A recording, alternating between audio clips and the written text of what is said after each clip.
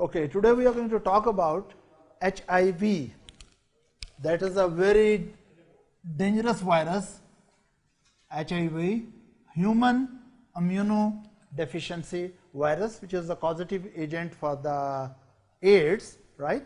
A disease in which there is profound immunosuppression and a lot of, uh, you can say, opportunistic infections appear and secondary neoplasms appear and neurological dysfunctions appear, right? So HIV is basically a very dangerous virus, right?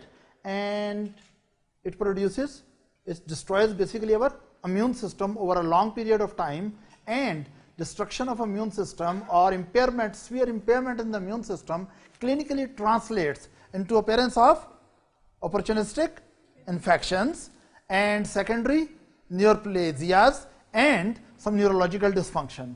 Today we will be specifically focused on this virus. Later on we will study about its pathogenesis of AIDS and the clinical manifestation.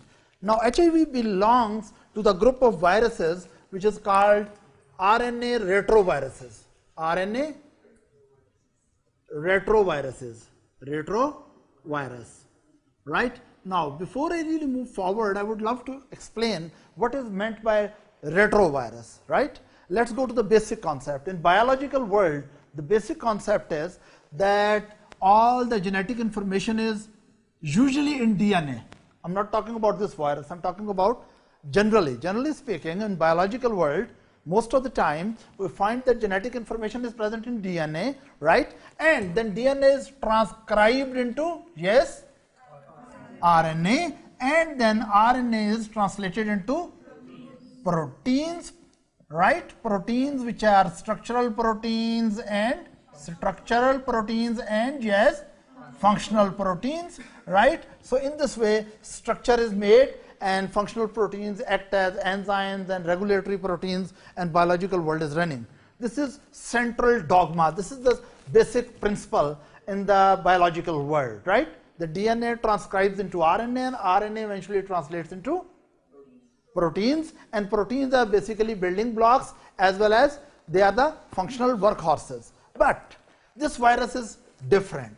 The genetic information about the HIV virus that does not reside into DNA when virus enters in a cell, HIV virus when enter into cell, it brings its genetic information in the form of RNA, right? So in this virus, what really happens that this virus has information as RNA and then RNA of this virus, once this enter into our cells, this RNA is reverse transcribed into DNA. It is reverse transcribed into DNA, right?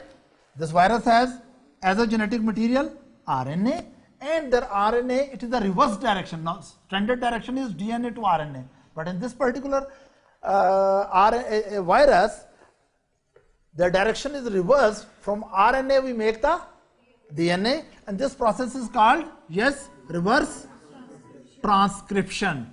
Transcription, and then DNA is again made into just two type of RNAs, right? It can be transcribed into two types of RNA that is yes genomic RNA genomic RNA and messenger RNA and from messenger RNA viral proteins are made and these protein with the genomic RNA make the new virus make the new virus right so due to this feature that this virus does not have DNA as its genetic material it has genetic information in RNA and because it is reverse transcribed, right?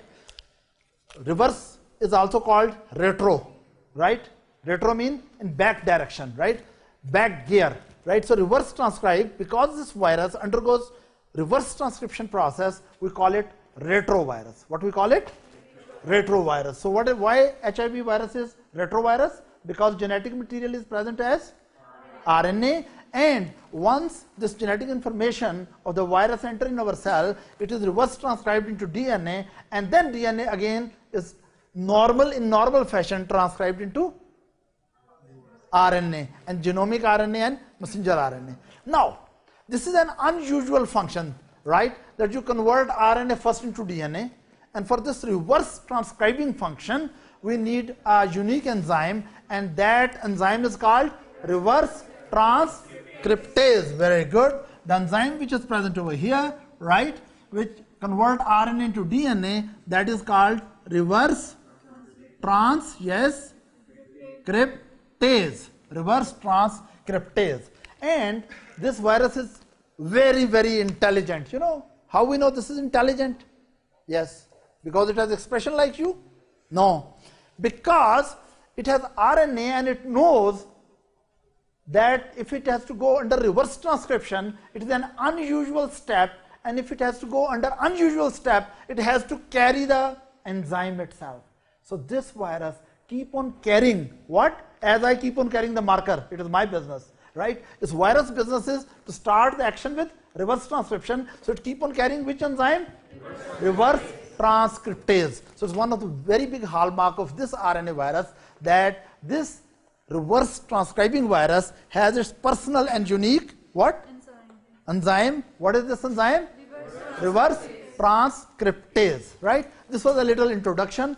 Now, one question. How many people approximately are now living with HIV virus or AIDS in the world on global level? We are just going to talk about this virus, a little idea that how many people 35 million. I think you were sitting and counting all the time. He's right. About approximately 33, 35 million people presently in the world are living with HIV and AIDS. About 33 to 35 million millions, right? You know what is million, right? So 33 million people are living presently with HIV and AIDS. And approximately, approximately, how many people are dying with this disease?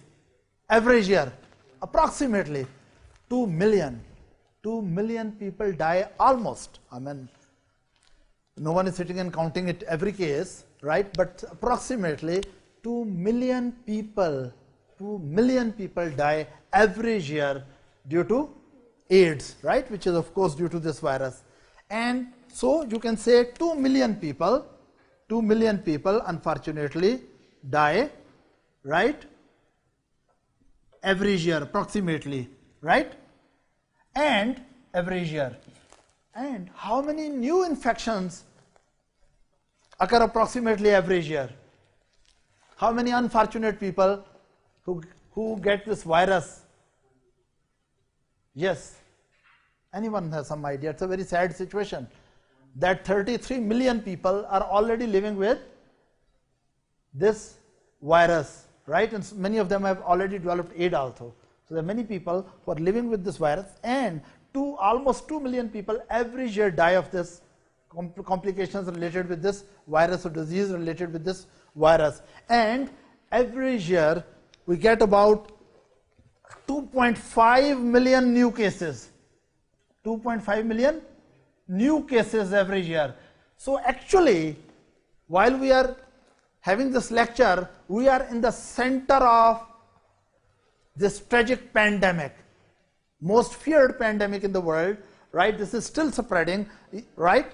And every year, about 2.5 million people get the new infection of HIV. And out of these, all 33 million people, most of the people are where? Africa, about 70% of these approximately are in Africa, right? And 20% are in Asia, and 10% is the rest of the world. So you can say about 90% of these 33 million people who are living with the HIV virus or AIDS, right? Unfortunately, they are residing in developing country or they are living in that part of the world which is having limited resources to manage such a dangerous situation, right? Anyway, so we'll go in detail later. Let us let's uh, start talking about the structure of this virus, right? That how is the structure of this virus? This virus basically lives in a bubble, right?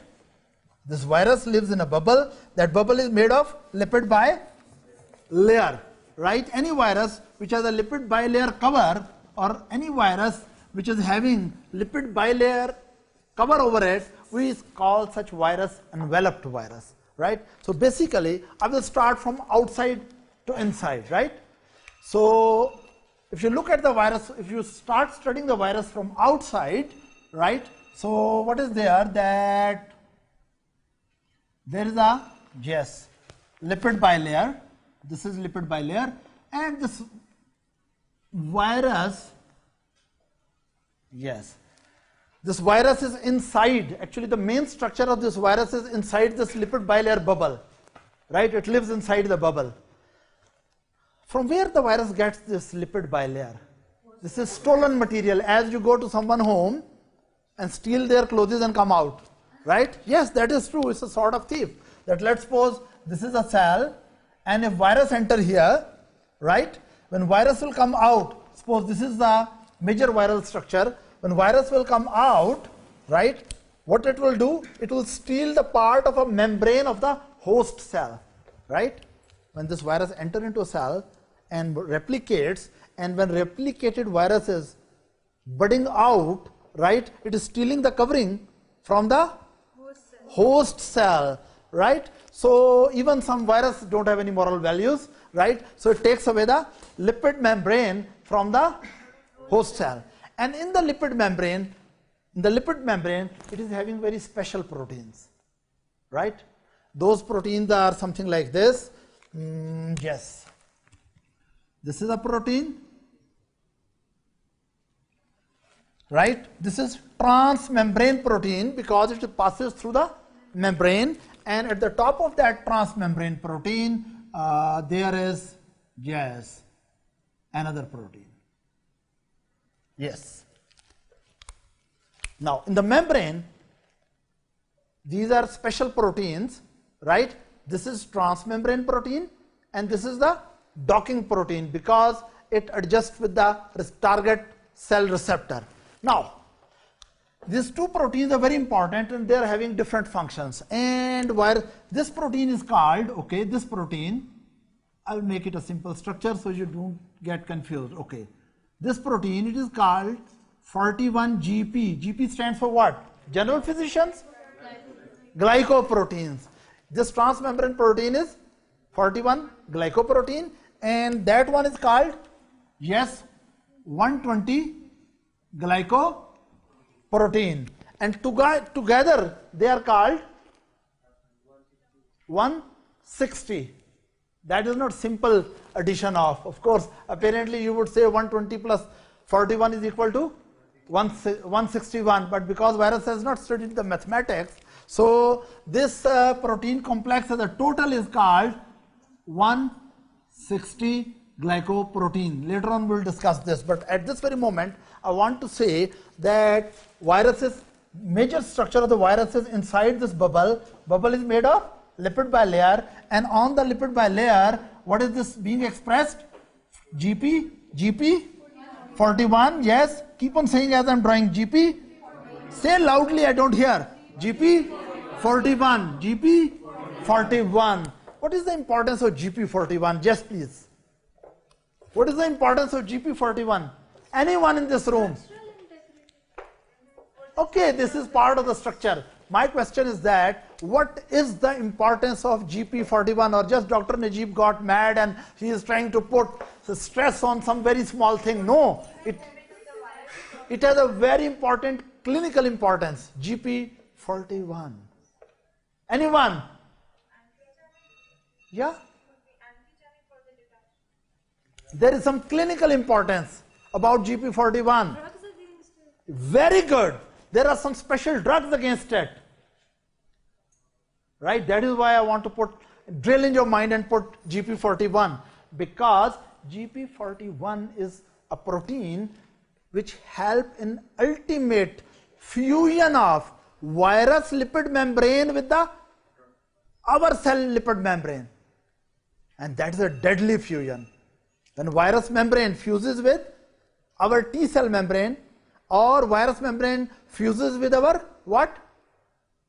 Macro Macrophage T cell, T. Right? T for? Thymus. Uh, thymus, yes. Don't think wrong things. Okay. So what I'm saying that basically this protein is not for attachment. First virus should get attached with our target cell, right? Attachment function is done by this naughty man and after that this protein come into action, right? And fuses the membrane. I will talk about that in a few minutes. So this is all GP, yes, 41, right? And what is this? GP? GP 120. What is the function of GP 120? Yes, it helps the virus to attach with the target receptors. What is this again? GP 120. Now, I will tell you exactly how these two proteins are interacting and helping the virus to have a deadly handshake with our cell. How? Actually, I think virus heard it. right, so we were talking about that what is the role of GP120 and GP41, right? Let me tell you. This virus, this virus loves to infect, loves to infect CD4 positive cells. This virus loves to infect CD4 positive cell, right? Now CD4 positive cell, let me let's talk. What are the cells which are CD4 positive, right? Because this GP120 loves to bind with GP uh, CD40 CD4 molecules, right? Let's suppose this is here our one cell and if this cell has a molecule here and this molecule is CD4 positive, right? If this cell is having this receptor, then this virus can attach with that cell, right? And how this virus can attach with that cell? By the GP120, right? Binding at which point? At CD4. Is that right? It means that primary, listen now carefully, the primary attachment between the virus and the target cell is the interaction between GP120 and CD4. So we must know which are the cells which are CD4 positive because those cells will be the target of this virus. Is that right? Am I right? So I will tell you one cell which is CD4 positive that is T helper cell. One cell I am telling you T helper cell they are CD4 positive. Other CD4 positive cells you will tell me yes. Number one T helper cell is CD4 positive then other CD4 positive cell is very good monocytes. Monocytes these are circulating in the blood. Then there are when monocytes enter into tissue and monocytes become activated we call them macrophages. Monocytes are also having CD4 molecules. Macrophage also have CD4 molecules. Even some, some of the macrophages, they enter into central nervous system. And those macrophages are called microglia. In the central nervous system, there are some monocyte derived cells which are called microglia. They are also having which molecules on them? CD4. So we are talking about CD4 positive cells. So classically an average student will tell that T helper cells are CD4 positive. Of course that is true. But a very good student knows that are other cells which are also CD4 positive. What are the other cells which are CD4 positive? Monocytes, macrophages, microglia and microglia and then there are special dendritic cell under the skin. Under the skin there are special dendritic cells, right? They are also having CD4 molecules. These dendritic cells which are under the skin, they are having a special unique name. Yes? Langerhans. Very good. And Then there are other dendritic cells which are present in follicles residing in the spleen and lymph nodes. They are called follicular dendritic cells. They are called follicular dendritic cells. They are in spleen or they are in follicular dendritic cell or in the lymph nodes. Now, why I mentioned these cells? Now, how many cells we have which are CD4 positive? One is T helper cell, number two is monocyte, third is macros, fourth is micro, glia, fifth is Langerhans, and sixth is follicular dendritic cells. So HIV virus loves to bind, rather loves to attach with these six type of cells. Is that right? This virus loves to attach with these six cells specially. Why? Because these cells are having CD4 positive molecule. And what really happens, there is a handshake between GP120 and it loves to bind with what? CD4 molecule. Is that right? Now, another thing. Let's suppose that, okay, I put one CD4 positive cell here and we see how the attachment proceeds. If there is CD4 positive cell here, let's suppose this is CD4 positive cell, it may be T helper cell or macro. Now, here is our virus, here is our virus and virus is having what protein is this? Yes? GP41. Say loudly and what is this? GP120. And GP120 is going to bind with which receptor? CD4. So they will engage. This is called primary engagement. What is it called? Primary engagement. Right? And this process is called primary attachment. But it is not enough. You know, this virus is something like boys. You know boys, if girl give her a hand, what is the next step? They will try to bring other hand also somewhere. Same is true about this virus. Yeah, that is true, everyone knows, right? This class is only for adults. Now, what happened as soon as, actually previously it was very sad. But now it is happy because it is engaging with CD4 molecule. The moment it engages with CD4, let's suppose now it is engaged and what molecule is here? CD4 and this is the cell, is that right?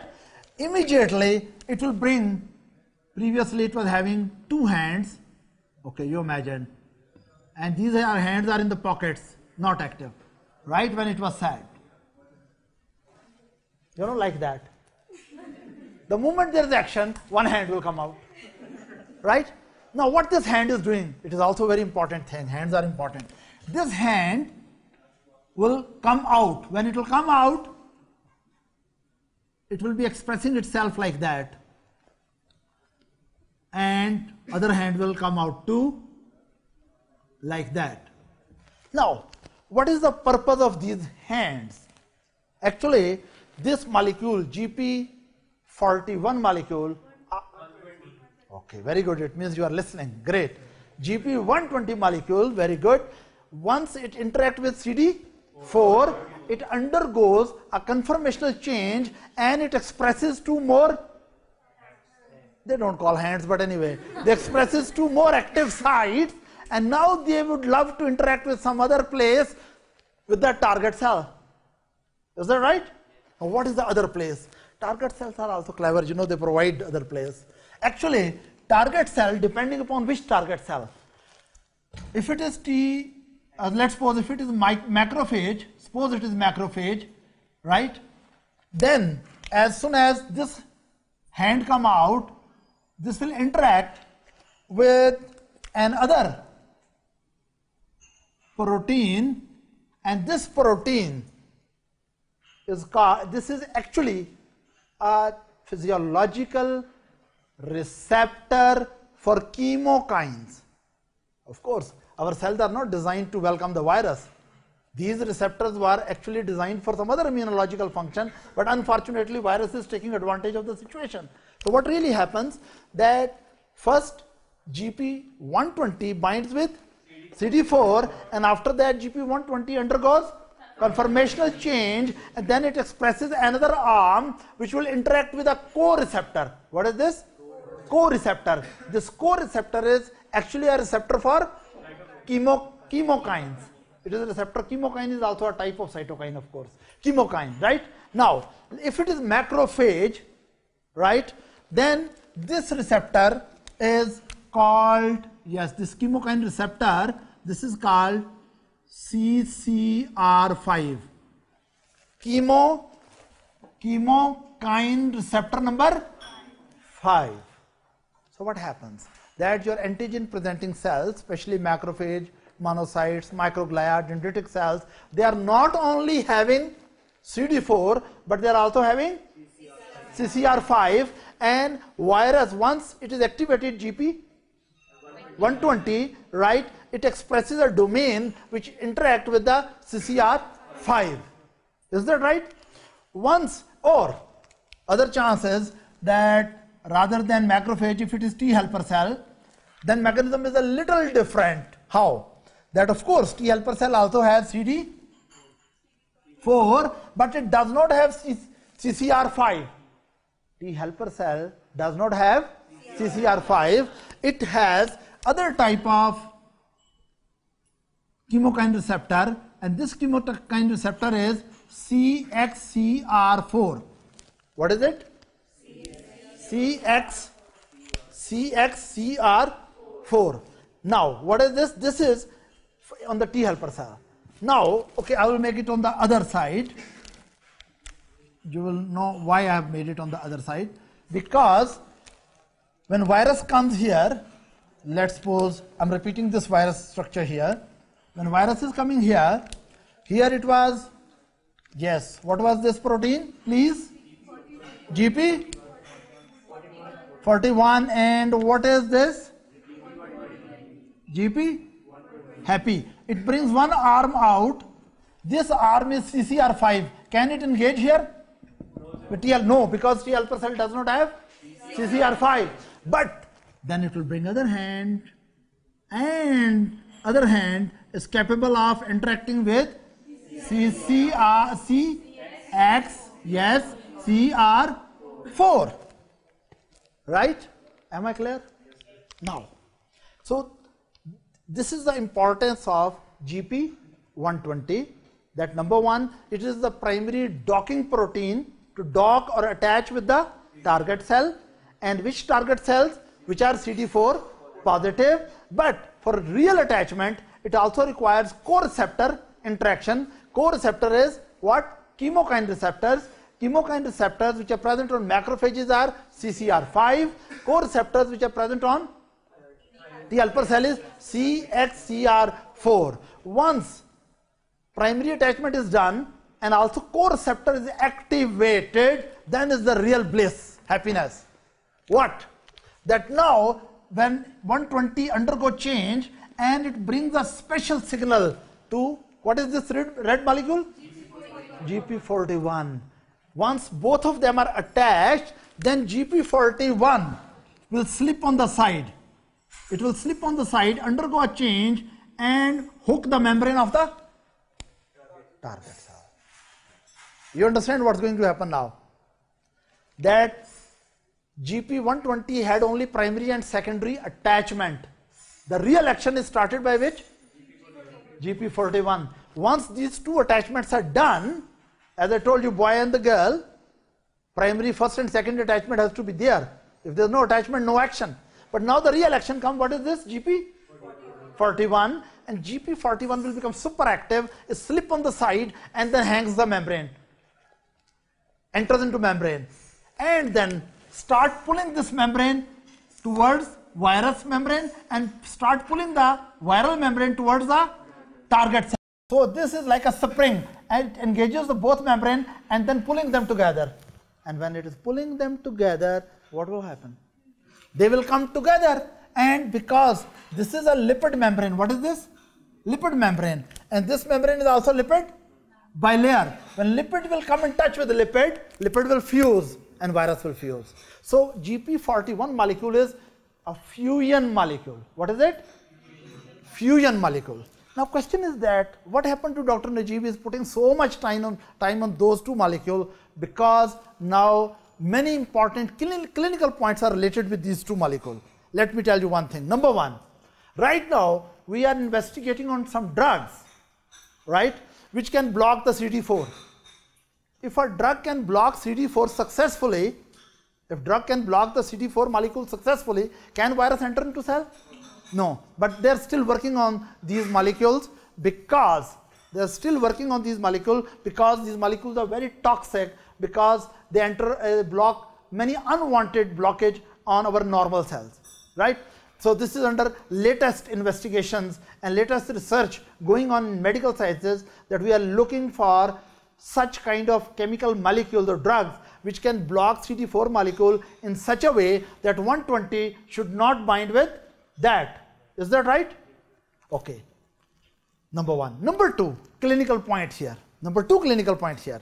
I told you that when this virus enters in our body, most of the time, now listen very carefully, most of the time when this virus is acquired naturally, most of the time when this virus is acquired naturally, usually it interact, usually it interact with the help of, yes, help of CCR5, not with the CXCR4. What does that mean? Again, I will repeat it. It's worth repeating. That once, once this uh, cell, what is this? Once this uh, uh, you are recording the lecture? You are not supposed to. Okay, no problem. Okay, so what I'm saying that we are recording it for you, don't worry. Okay, so what we are doing, I'm talking about that once virus and is naturally acquired, right? This virus will have two options. Either it bind with macrophages with co-receptor of CCR5 or it bind with T helper cell with CXCR4. Am I right? But most of the time, when virus first time enter in our body, they are capable of binding with CCR5.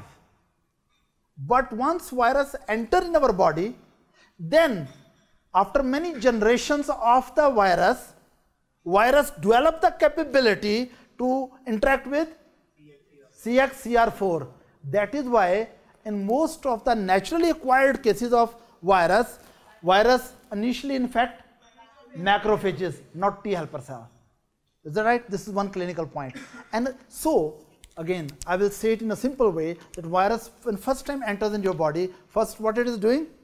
It is infecting macrophages or dendritic cells or those, or we can say initially most of the virus which is acquired right by natural means this is this has tropism for CCR5 tropism means attraction but once virus multiply in our body gradually new strains of virus appear due to mutation due to changes in GP 120 and then virus become predominantly able to interact with CXCR4 and that is the time when it become more dangerous for T helper cell. This is one important thing. Then I will tell you another important thing. They found, previously we thought that once this virus enter into a person, it will always produce AIDS if person lives long enough.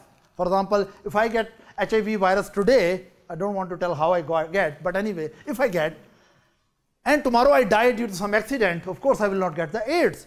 Because getting the virus and eventually developing severe immunosuppression and opportunistic infections and secondary neoplasia and neurological dysfunction, which is AIDS defining situations, right? That takes many years. On average, seven to eight years it is taken that once virus enter and eventually AIDS appear. Is that right?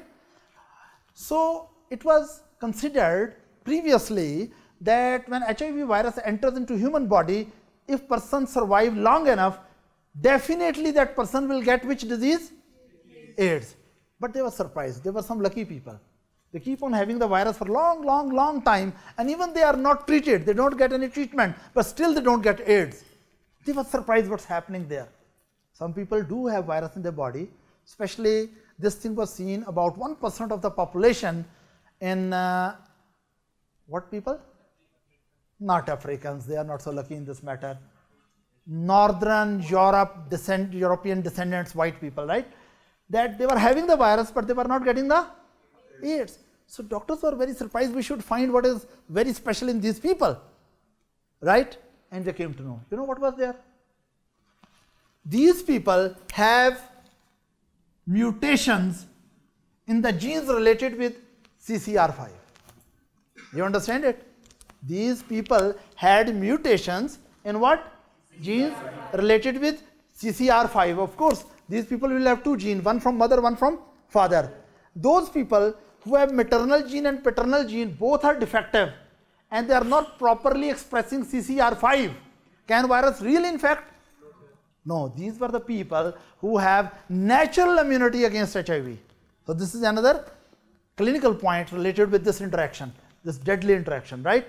So 1% of northern European population and their descendant white people, they are homozygous for the mutant mutation in CCR5 and they are not develop, after getting HIV positive, they don't develop AIDS. Am I clear? Then about 10 to 15 percent of northern European white descendants 10 to 15 percent of people they are having they are heterozygous in this mutation of CCR5 it means that half of the CCR5 are normal and half of them are defective so half of them which are normal interact with the GP 120 but half of the molecule do not so in these people do you think virus will be able to invade very rapidly or very slowly very slowly are you understanding you couldn't get it. I will explain it again. Listen. If you are very lucky, if you are very lucky, you will never get this virus. But anyway, if you are less than very lucky, you get this virus, but still you are very lucky and you have mutant CCR5s.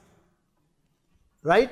Maternal and paternal both genes, heterozygous. So you don't entertain the virus to enter. Do you think you will get this disease? You will have the HIV, but this HIV will not multiply very rapidly because it will not enter into cell and it will not destroy the immune system and you will not develop the AIDS.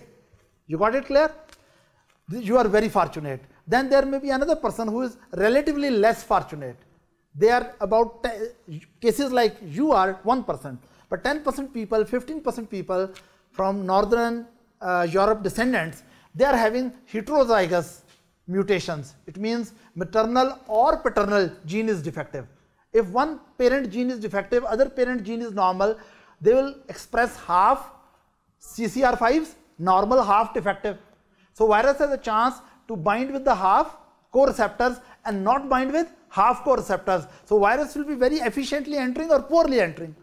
So it will be progressing to the AIDS disease slowly or fastly? Slowly. slowly. Now you got it. This is another clinical point right? And doctors are now looking for drugs. Okay, let's, let's imagine if we make a drug, if a pharmaceutical company makes a drug and that drug is given to the patient and that drug bind with, what is this? CCR5. This is the drug molecule. It bind with CCR5 and now look at this poor virus. It is trying to find where is the CCR5 but the drug is between CCR5 and the GP120. You are understanding? Right? Now, do you think this can bind with that? No. So do you think virus will be able to enter? No. So will it be a good drug or bad? Good drug, very good drug. Right? This is one strategy pharmacologically. You can fool this HIV virus that you develop a drug which can bind with which molecule? CCR5 and modify this molecule so much that GP120 cannot interact, right? The good news is this, this drug is available in the market. This is available now. What is the name of this drug? Who will tell me? It is just like putting a rock here. You know, there's a girl, very beautiful, and the hand come, but she's putting at important places some rocks, and hands cannot do anything. It's a frustrating situation, right? So this is rock-like molecule. What is the name of this drug? No one knows. Its name is Maraviroc. Its name is Mara, M-A-R-A, Maravi rock. So Maraviroc, this is another important point why I'm trying to hammer this molecule in your mind that it has many clinical importance. If these molecules are absent, no interaction, no dangerous thing. If you find the girl that she is not girl, no interaction, right? Number two, half girl, little action. Or she's having some rocks here, again, only frustration. Is that right? So you understand it. So these were some important point related with CCR5 molecule and GP120. Am I clear up to this? Now about GP120 I want to talk one more thing. Uh, do you think up to now there, uh, there is a very intense research going on and work going on to develop a vaccine for HIV? Do you think we are really successful or not yet? Are we really very successful in making a vaccination? No, because if we have made vaccination, all of you will be happy, but you don't look happy, right? Because everyone is at risk for one or the other reason. Is that right? Now the question is that against many viruses, we have vaccination. We make vaccines. Why against this virus we cannot make vaccination? Anyone who can tell me? Why we are repeatedly failing in developing an effective vaccination against HIV virus? Anyone? Genetic variation, Genetic variation in what? Very good. He's saying there's some genetic variation uh, in the GP120. You can say he's very right. Actually, let me tell you. This GP120 is the real nasty thing. Number one, it helps it to attach. And number two, it keep on changing its faces. It's like a playboy boy. Right? Sometimes very good, sometimes very bad, sometimes attractive, sometimes depending upon the girl. Right? So this uh, molecule knows how to change its face. Of course, this is a protein molecule, isn't it? It's a amino acid sequence. And amino acid sequence is determined by the gene's nucleotide sequence. Actually, the gene, the virus has a gene to make 120. Is that right? The gene, gene which make 120, it rapidly undergoes mutations, alterations. When this gene which make 120 molecule, this gene undergoes changes, then this molecule also undergoes changes. And if this molecule keep on undergoing changes, it becomes difficult for our antibodies to recognize it. Let me tell you how.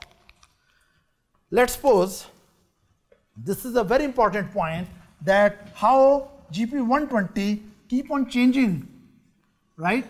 Keep on changing its amino acid sequence and frustrating our efforts frustrating our efforts to make vaccination. Let me tell you exactly what happened.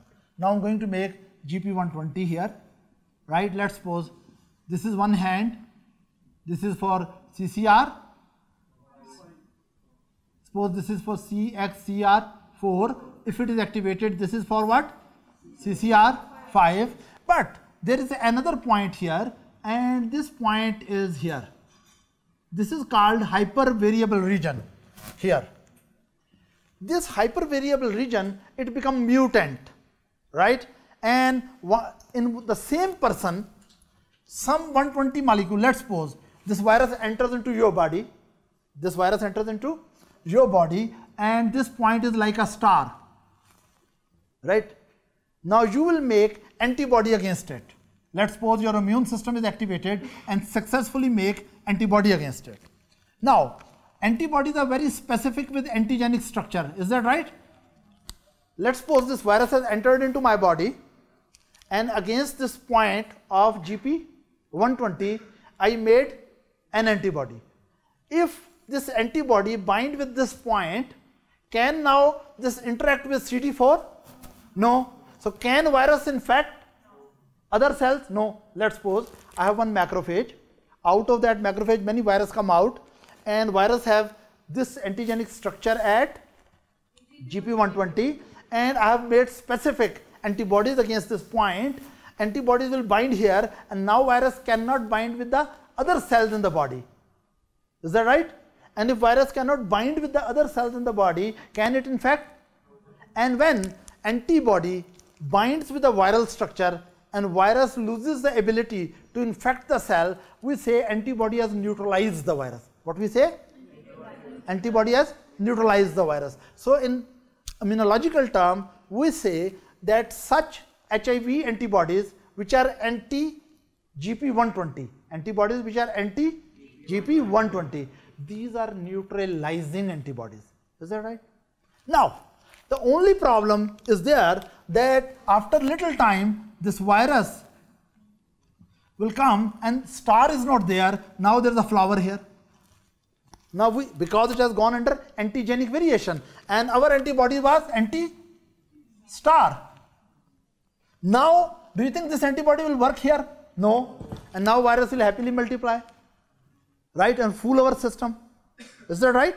Then after some time, maybe we make another antibody which is anti-flower against this point. No problem. This virus after some time will again appear with another GP now it is laughing really too much. With what? GP120 which is having a moon here. Now these 20 bodies will fail. This is the problem why virus make, this is one problem. It has many other ways to uh, humiliate, humiliate our immune system and eventually destroy. But one of the things is that GP120 molecule, it has many antigenic variants, right? And we keep on making antibodies against one variant, other variant appear, then other variant appear, and eventually some variant appear against which we cannot make antibody, and that is real going, really going to what? Destroy. Destroy the whole system. Is that right? This is one thing. Second problem. This is how it plays, one of the way how it plays havoc with our immune system.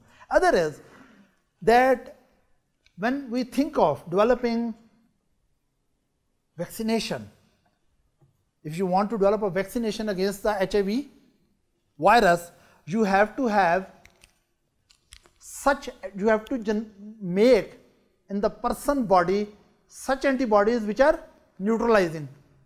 Is that right? For example, there is a boy of 12 year old and we know soon he will start actions and we want to vaccinate him against HIV.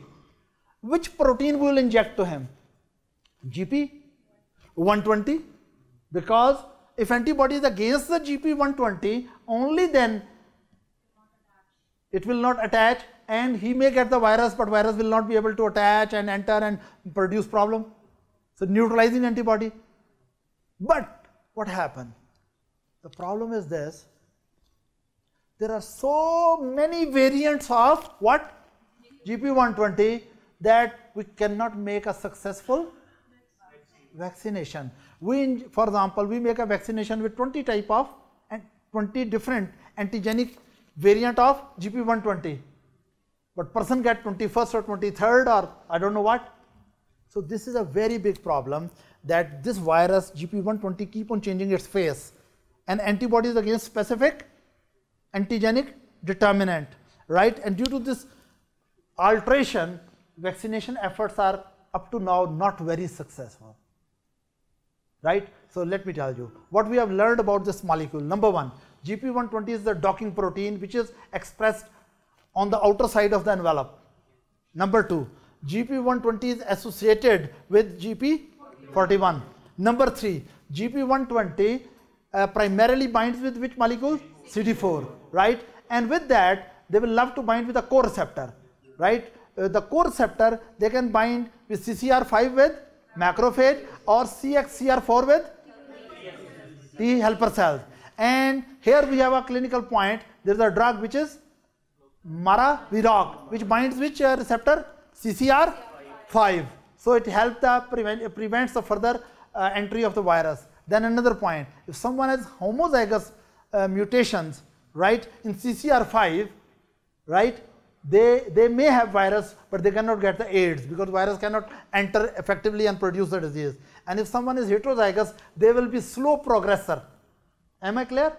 Any problem up to this? Another important point we learned that why vaccination fail against because neutralizing antibodies against the HIV viruses actually anti GP120. But these neutralizing antibodies are not effective because this GP120 keep on altering its antigenic structure.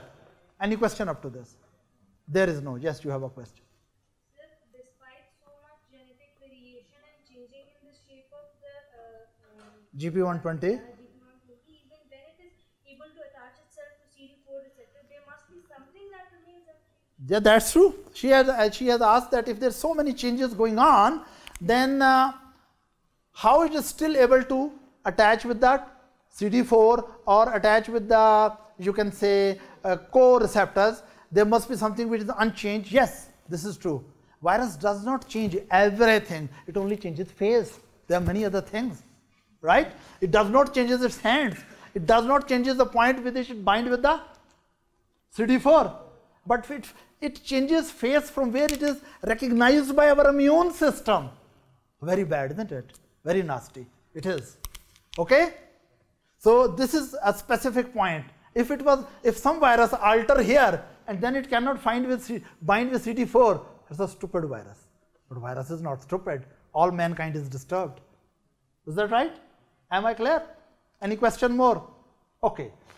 So we have talked enough about GP 120. Then we talked about GP 41 and drug which bind with the. Yes. Now I will. I, I told you the function of GP 41. What was the special function of GP 41? That once once this is attached with primary receptor and secondary co-receptor. After that, GP 41 undergoes a change and help the membrane of virus envelope help the virus envelope to fuse with the target cell membrane. So it is a right and if we have a drug here of course purpose of learning uh, virology is not just rem- remembering these molecules the thing is that a good doctor should know why we remember them why we understand them yes if you make a drug again such a way that gp41 even if GP120 bind with CD4 and the chemokine receptor. But if a drug come here and this drug actually, let's suppose, disturb this drug bind over, what is this? GP41. If there is a drug which bind with GP41 and does not allow the GP41 to undergo activation, it's just like that. There's a boy, but his hands are tied and even legs are tied. Look at the frustration. We have a drug like that also, right? No way to fusion or penetration or what's, whatever you call that. There is a drug. Now we are working very hard to beat this virus, you know. By nature, we are cruel. You see how many ways we find to kill this virus and tiny virus. We do have a drug which bind with GP 41 and once GP41 is bound with that drug, it cannot open its molecule and bind with the target cell membrane. So if that drug is there, that drug will be called which inhibitor? Yes? Fusion inhibitor, very good. Previous drug was binding with CCR5, that was an attachment inhibitor. Now attachment is allowed but fusion is not allowed, ultimate frustration. So what is this? What is the name of this drug? Anyone? Anyone please? You have very anti-HIV attitude. Anyone knows what is the drug which is uh, which can stabilize GP141, GP41 and whatever happen with this, right, it, is, it does not become active and then of course virus will not fuse with the target cell membrane and virus will not be able to infect the cell. What is the name of this drug? No one knows. Okay, let me tell you. Its name is, this is a drug which bind with GP41 and does fusion. This is anti-fusion drug. It is anti-romance drug. Yes, what is this drug? This drug is called Enfuvirtide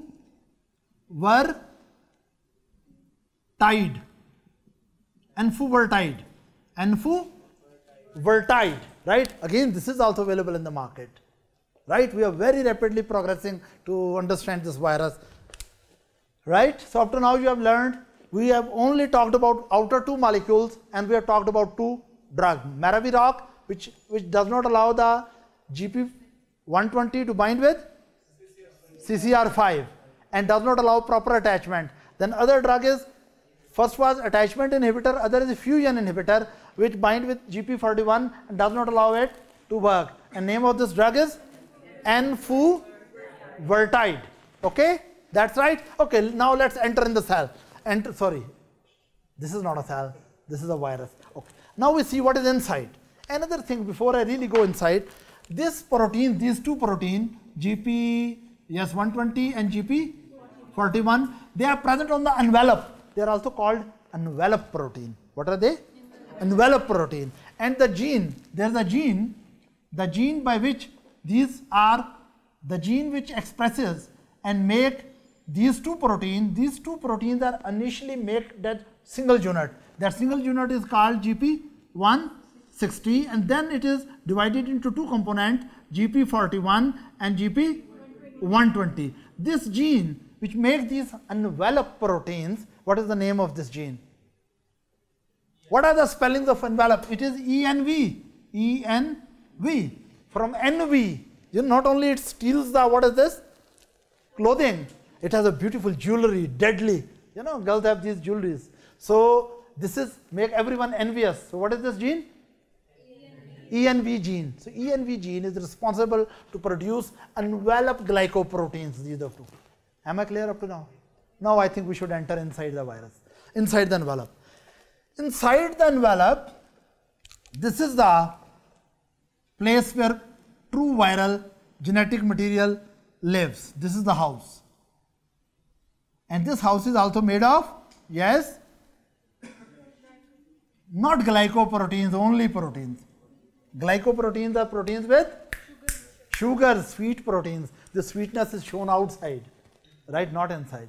Okay, inside is just proteins. Okay, so glycoproteins are on the surface, they are not inside. So this is the real house of the vi viral genome. Viral genome and important enzymes are here. Is that right? Outside this was just a bubble, and on the bubble are by these were glycoproteins. But there is one thing.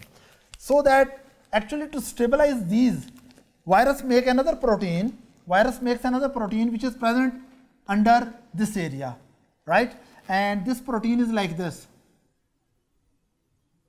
This is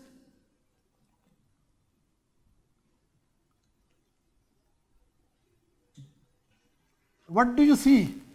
What is it? What is that? It is M of course, not any other thing. So this is M. These proteins which are just inside the envelope and they basically stabilize these GP41 here. These proteins are called M for matrix, matrix. So matrix proteins, what are these called? Matrix protein. So these were glycoproteins or envelope protein. Inside the envelope, what are the proteins? Matrix protein.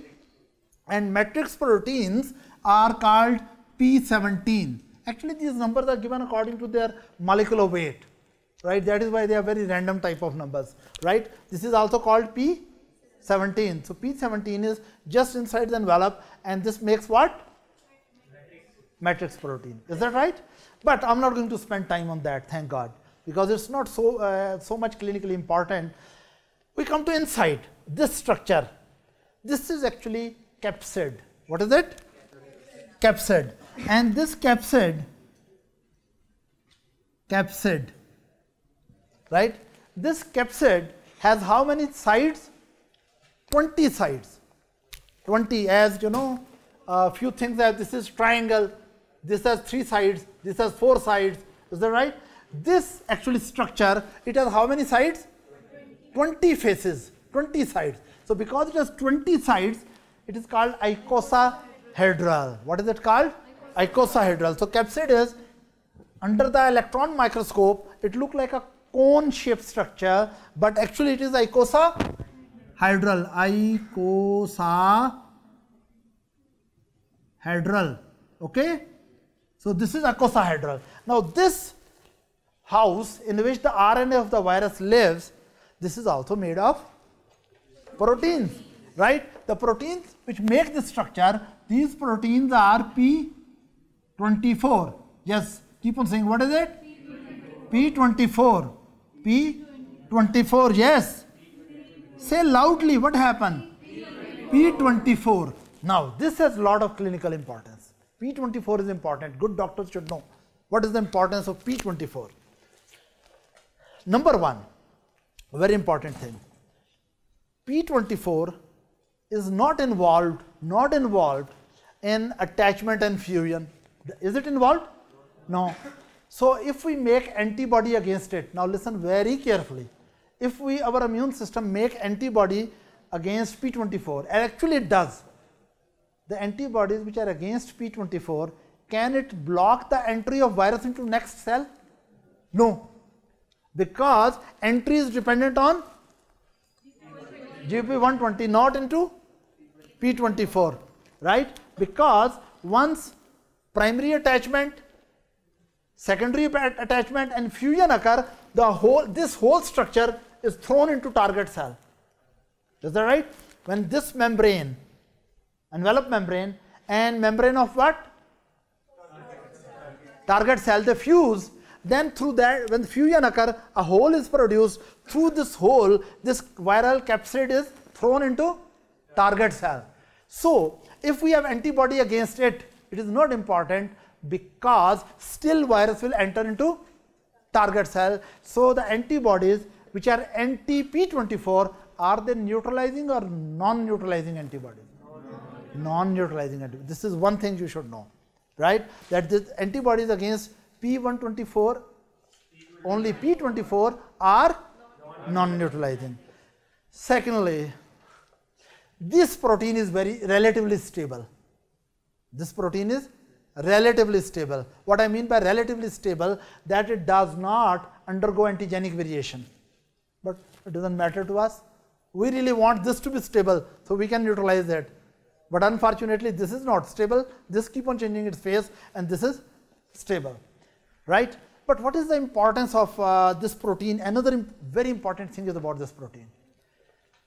That is about diagnosis of this virus. Yes, please, Jamshed. That's what I was uh, You wanted to tell this. Okay, tell me, please.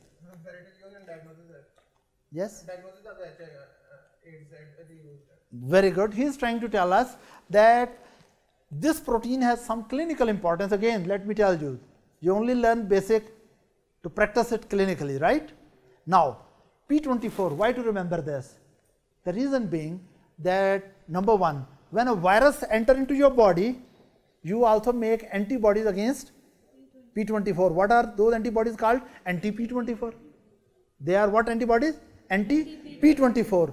Now, anti-P24s appear in our blood after a few weeks of entry of the virus.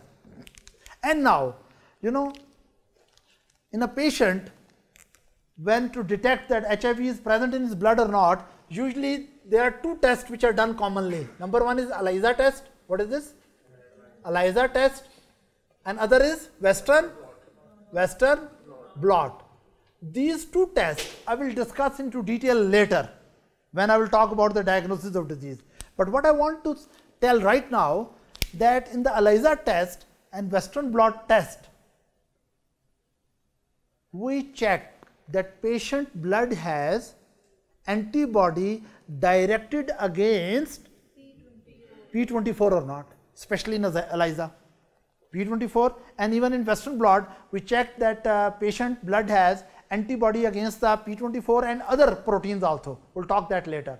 So what I want to say, P24 is a very important thing. What is that importance? That this protein is a very important in serological markers that usually the people when we suspect that they may have for example if uh, someone get unprotected sex then he or she is worried that uh, she or he is HIV positive or not. One way is after a few weeks you take the blood sample and in the blood they check that person has anti P24 or not. Right? If anti P24 is present you think virus may be present. And then we do more specific test which is Western blot in which we check antibodies in patient serum against multiple HIV proteins, right. So, this is one serological importance of P24. Secondly, another importance. Now, we have test by which we can directly check the presence of the protein in the blood. Again, let me repeat it. If I get HIV virus in my blood, P24 may be present, this antigen may be present and antibody against this may also be present right so it means i may have P24 and I may also have anti P24 antibody. Am I right? Now in ELISA test or in Western blot, we check that my blood is having anti P24 antibodies or not, or some other uh, viral protein antibodies or not. Or you can directly check in my blood that P, P24 protein is present or not. So due to this reason, uh, this structure or this P24 is very important. This is called capsid protein, right? Or this is also called uh, group specific protein and this protein is serological marker of the infection, this protein itself or antibodies developing against this protein. Am I clear? After that, we enter inside the virus, deeper inside the virus, right? Inside the virus, now you will find, yes, what is this? RNA.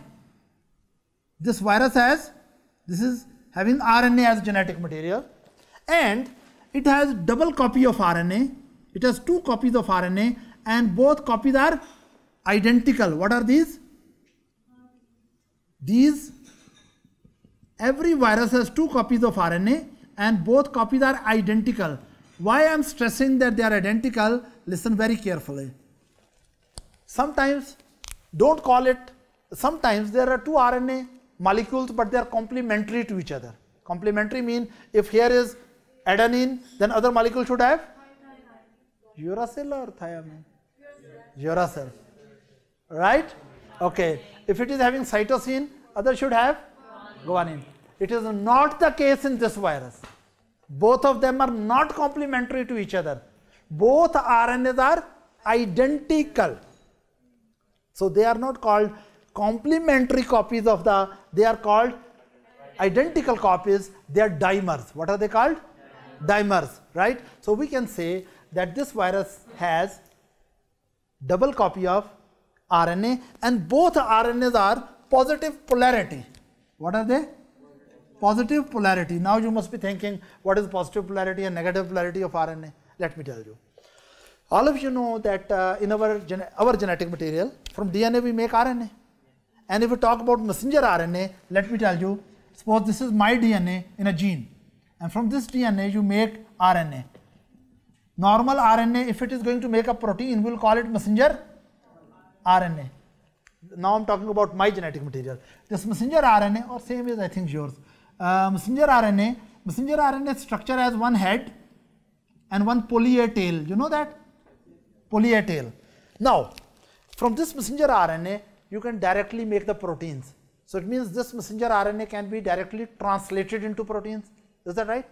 Such RNA molecules, now listen very carefully, such RNA molecules which have such, which are structurally similar to our messenger RNA, that is they are having head and they are having a poly A tail and the structure is somewhat like our messenger RNA, right? Such RNAs are called positive polarity.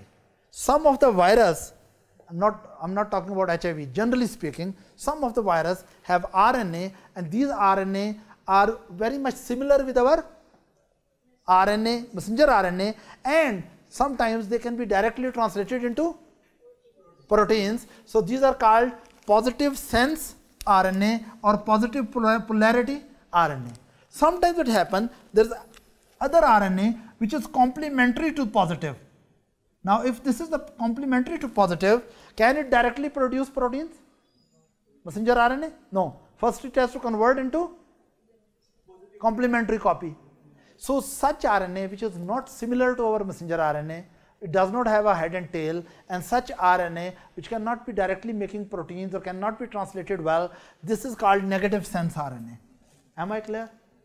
After you have the concept of negative sense RNA and positive sense RNA or negative polarity RNA and positive polarity RNA, we come back to our HIV discussion that HIV capsid has two RNA molecules and both of them are positive sense RNA. But I will make it clear, even though this positive sense RNA which are identical and they are double copy, even though they are like our messenger RNA, but they don't directly translate into protein. I will tell you later, there's something unique about it that from this DNA, from this RNA we are going to make DNA.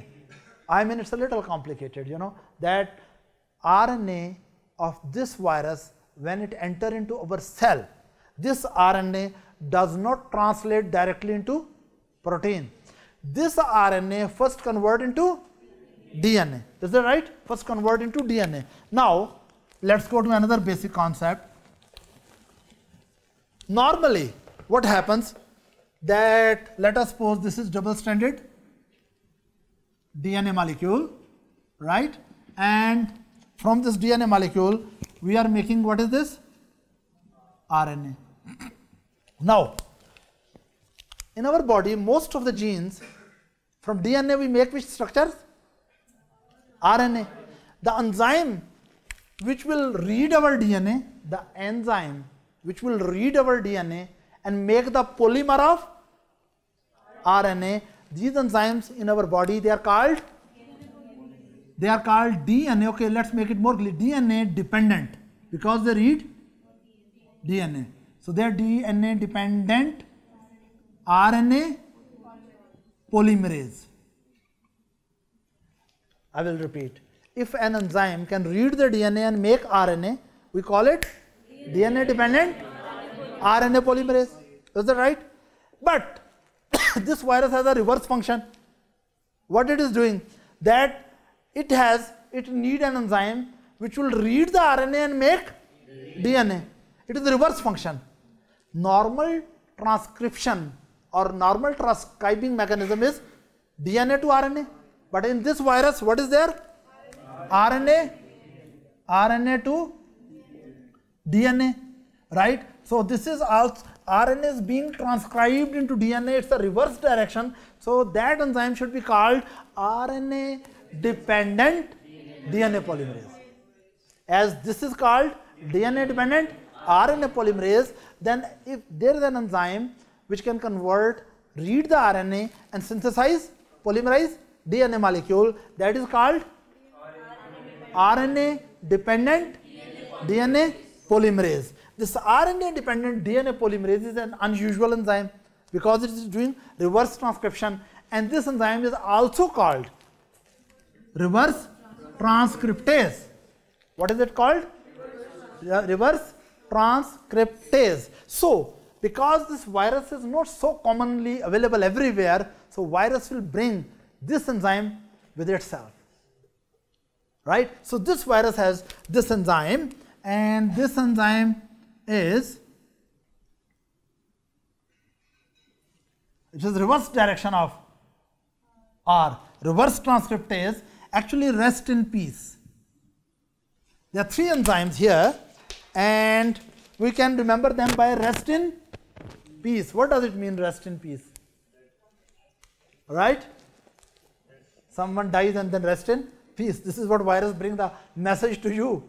Now you rest in peace, even though actually we become hyper after knowing that this rest in peace message is there. This R stand for which enzyme? Reverse transcriptase, right? So I have written it in reverse direction. So this enzyme is reverse transcriptase. Virus brings this enzyme with it, right? Other enzyme, once virus make the from RNA, from RNA, when virus make the DNA, viral DNA is viral DNA is integrated in our DNA and once virus DNA is integrated into our DNA, that enzyme which does this function is called integrase. Rest in peace, another step. Integrase, right? And then there is another enzyme present over there and when virus make its protein, when virus enter in our cell and then virus start making proteins for the progeny virus or daughter or I don't know, a daughter virus or son virus, whatever, or grandson virus. The new generations of virus, when for new generations of virus, virus is making proteins, it makes very long proteins which are cut into pieces. And when long proteins are cut into smaller pieces, the smaller pieces of proteins are the functionally active. Is that right? These are functionally active. These so it means larger proteins need to be cut into smaller proteins. Is that right? And for that purpose, virus bring its own protease, the cutter. So virus is bringing three enzymes. Number one, how from RNA it will make DNA. Then after making the DNA, how to integrate its DNA into our cell genetic material. And after that, when viral uh, viral polypeptides are made, polyproteins are made, how to cut them down. What is this? Protease. Why these steps are so important to understand? Because later on I will explain there are now drugs which can inhibit this. They are called reverse transcriptase inhibitor drug. Reverse transcriptase inhibitor drugs. Then we are also having a drug which can inhibit the integrase and of course these days we are having drugs which can inhibit the proteases. You are getting it? So that is why we must know this viral structure very clearly. I will repeat it fastly that basically this is RNA reverse transcribing virus or retrovirus, right? And this virus can be HIV-1 virus, yes, here it is worth mentioning, and HIV-2 virus. HIV-1 virus is the most common all over the world. HIV-2 virus is limited to the Western Africa. Uh, HIV-1 and HIV-2 virus are not not too much similar. They have only 40% homology. 40% of their genetic material is same. 40% of their protein the same. HIV-1 and HIV-2. But what I want you to remember, all my this lecture is mainly about HIV-1, which is producing the disease all over the world. But in West Africa, disease is dominantly produced by HIV 2. So this is global, this is West African mostly, this is highly transmissible and this is less transmissible. That is why it is localized, right? But we are mostly talking about what? HIV 1. Now here I want to mention one more thing that in the virus now we are having two RNA molecules. We have three enzymes present over there. We have capsid protein and there are some additional proteins also inside and they are called P7 right? P7. These are called nucleocapsid protein because these are attached with this material, right? So nucleocapsid proteins are number one P7, number two is P24, but which is more important for a doctor? P24 because it's a marker of viral presence in our body and antibodies against this also tell us virus is there. Is that right? Again, I will repeat it. We had the drugs which inhibit the attachment. We had the drugs, how they inhibit the attachment? By blocking CCR5. What was the name of the drug? Maraviroc. Then there was a drug which was not allowing the fusion, inhibiting GP41. What is the name of this drug? Yes? Enfuvirtide. Then there are drugs which inhibit, this I will go in detail in second part of the that there are drugs which are reverse transcriptase inhibitors, there are drugs which are integrase inhibitors, there are drugs which are protease inhibitors. Another thing which I will love to mention here that about the genetic system that these proteins, envelope proteins are made by which gene? E and V gene. Then these proteins, what are these proteins? Capsid, nucleocapsid proteins, they are made by another gene and that gene is called GAG gene. What is this? GAG, GAG gene. And then these enzymes are made by another gene and that, that gene make the pool of enzyme, all three enzymes. Because this central gene is making all this pool of enzyme that is called pol gene. What is this? Pol gene. Now again I'm repeating there are three important genes, right? I will go into detail later. There is GAG gene which, which produces your nucleocapsid proteins. Then there is pol gene which produces a pool of enzymes and then there is ENV gene which is making envelope protein. Okay, so let's have a break. Do you have any question up to now? There's no question? Okay, so let's have a break for a few minutes and then we'll continue ahead. Thank you.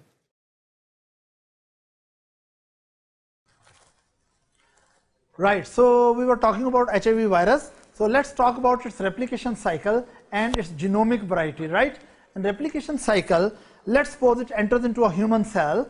Right? Let me draw a human cell. It may be macrophage or it may be a T lymphocyte, right?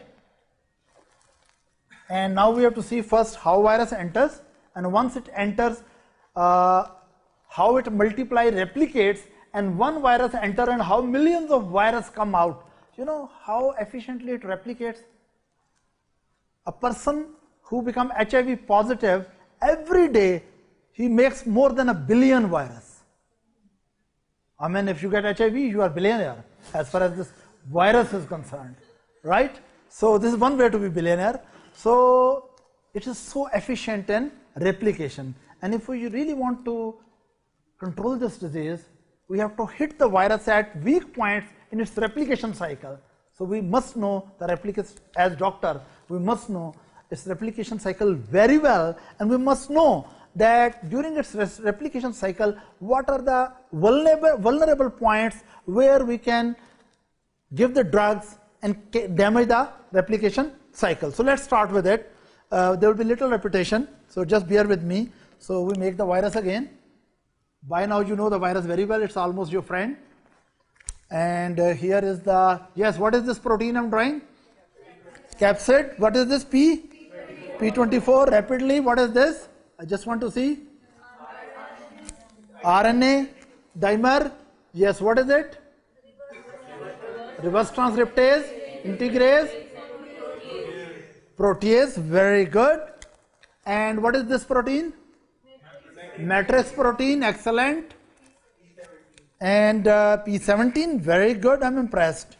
And uh, what were these proteins? GP41 and uh, what are the caps over them, the naughty caps? GP120, right? What is it? GP120. Now we start, this virus is approaching our cell and then what happens, right? Let's suppose that uh, I put, I will make it a little bit out of proportion. This is your GP41. There's little repetition here and this is what? 120 very happy because the other cell is CD4 positive it is its primary attachment right? Then its uh, other thing come out. What is the other thing? Another binding site. To bind with which receptor?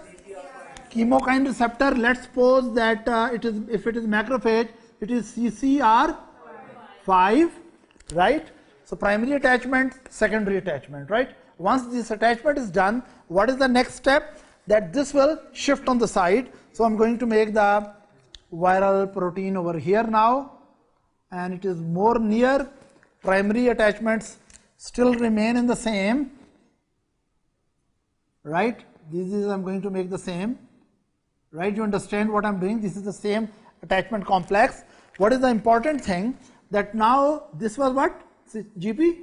41 when both of them are engaged it will come out and hook over there and then pull these membranes together. So next step will be that yes it is also lipid bilayer. Human cell also has lipid bilayer. And next step when this will bring it together then this membrane and the other membrane they will fuse with each other. And at the fusion point what will happen? That viral envelope envelope lipid bilayer and human cell lipid membrane they will fuse together and this will become the part of our membrane and out of this this is the material this is the thing which will jump in. Is that right? This structure will jump in. It means basically up to now what we have seen there is attachment primary secondary and fusion. Once fusion is done there, then this uh, core protein has entered in and this core protein with all its contents, you still remember, keep on telling me RNA, RNA, yes, rest in peace. Reverse transcriptase, integrase and protease, right? The next step is that our proteases which are in the cell, they will attack capsid protein. What is this protein? P24, yes, this will dissolve and these components will come out, right? Now they are in our cytoplasm, right? Now once this is in our cytoplasm, I'm going to make now one RNA over here. This one RNA I bring out. This is viral RNA and this is single stranded, right? There are, this, these are single stranded positive polarity dimer. Now, this virus RNA come and the first enzyme which will become active and work on this is what is this enzyme? Reverse transcriptase. What is this enzyme? Reverse transcriptase. Let me draw the reverse transcriptase properly. This is the, we're very happy because it can start at action. It has double action enzyme, right? And it is having it has a glue bottle. It can, with this glue bottle, it can attach the nucleotide here and make complementary DNA. It will read the RNA and make DNA. So this point is, this point of the enzyme is called polymerase. But which polymerase? RNA dependent DNA polymerase and the, so I will talk about this domain later. This is one enzyme with two functional domains. What is this domain? Polymerase domain. Now this polymerase domain, what it will do, it will read the RNA and make complementary DNA and when complementary DNA is made, what are these? Nucleotides. You know what are these? Nucleotides. They are added, right? Complementary nucleotides are added. Am I clear? Now, when these nucleotides are added, this DNA strand is made. Once this DNA strand is made, the next step comes that this is again RNA of virus. Is that right? This section will occur on both strands. It has two strands. Both strands will undergo these mechanism. And now here it has made what thing? Complementary DNA strand. And now you know what happens. You know what happens? This was the original template from which complementary DNA, single stranded complementary DNA is made. Now this point become active. Now this point become active. And what will it do? We'll look at it. What it's going to do. This is its uh, polymerase point and this will start cutting. It will start cutting the RNA. I mean this is very, it's not a lo loyalty that it is going to for auto destruction. The template RNA which came, as soon as from this RNA it make first, first complementary DNA, right? This domain become active and it start destroying RNA, the template. Is that right? It's a bit of very low, cheap activity, but it happens even in virus, not only in humans. So what happened? This RNA is destroyed. Before the destruction of this thing, now it was a duplex, RNA DNA duplex. But when this domain of reverse transcriptase become active, it will destroy the template. When the template is destroyed, what is left there? Single stranded DNA. Is that right? It was required, it was needed to destroy this. Why? Because then another enzyme will come and now it will read this DNA and make complementary DNA. What is going to happen? It will read the single stranded DNA and make complementary DNA and in this step when RNA has been removed from here and this is left single then its complementary DNA will be made and now it has become double stranded DNA. What, what it has become? Double stranded DNA. Now this point which destroys the RNA it is called RNase H. So we can say reverse transcriptase enzyme is double action enzyme. Number one, it has RNA dependent DNA polymerase activity. Number two, it has RNase H activity. But it is very intelligent. First it make the copy and then it will destroy. Sometimes it may happen as stupid that it just RNA come and it destroy the RNA. If virus has such kind of stupid what reverse transcriptase, this virus will not survive. Why? Because DNA will not be made. You are getting it? Is this clear? Now, what is happening that by this time we have made double-stranded DNA. Then this double-stranded DNA will be transferred to our nucleus, to our cell nucleus, right? This will be transferred to our cell nucleus and suppose this is our nucleus this is our nuclear membrane right now this will be carried into our nucleus right and once it is carried in our nucleus then suppose this is our double stranded dna human double stranded dna right and this is also human double stranded dna now the next enzyme will come into action which is called integrase. Very good. The next enzyme will come into action, which is called integrase. Now let me show how this enzyme work integrase. Integrase enzyme is like this, that it is having two bottles, two polymerase, uh, what is this? Uh, uh, sticking points, uh, binder and one cutter, and it has one cutter. Right. Now what it will do? Actually, by this cutter, it will cut our DNA. It will put a cut in our DNA. Our DNA is a double-stranded long DNA. It will put a cut there. You remember rest in peace, integrase enzyme. Now this integrase enzyme will produce a cut in our DNA and separate our DNA. And then, with the end of our DNA, fit the viral DNA. You are understanding? So what is happening that let's suppose, okay, I will make a human DNA with different color. So viral DNA remains black. Let's suppose human DNA is, uh, I'm making with the green color, right? Then it will make a cut in that, this enzyme, and then it will make, fit into it, what is this? Viral DNA, right? Of course, it's double stranded viral DNA, which was present over here, now it has come over here. Now, this function that cutting our DNA and making the viral DNA fit into that, I mean, it will cut and then tie over here and stitch over here. Now, viral DNA become the part of our DNA, right? Now, this viral DNA is called proviral DNA. What we call it? Proviral DNA. This is also proviral DNA because eventually it, it can make new virus. So, what do you call it? Proviral DNA. Is that right? Now, this proviral DNA gets inserted at multiple points within, within our DNA and it become integrated forever. It becomes the part of our DNA forever. Now there is an issue. The drugs which are which we are presently using, they can destroy the virus at multiple level. But we don't have any drug up to now which can basically remove this DNA which has been integrated in our genomic material.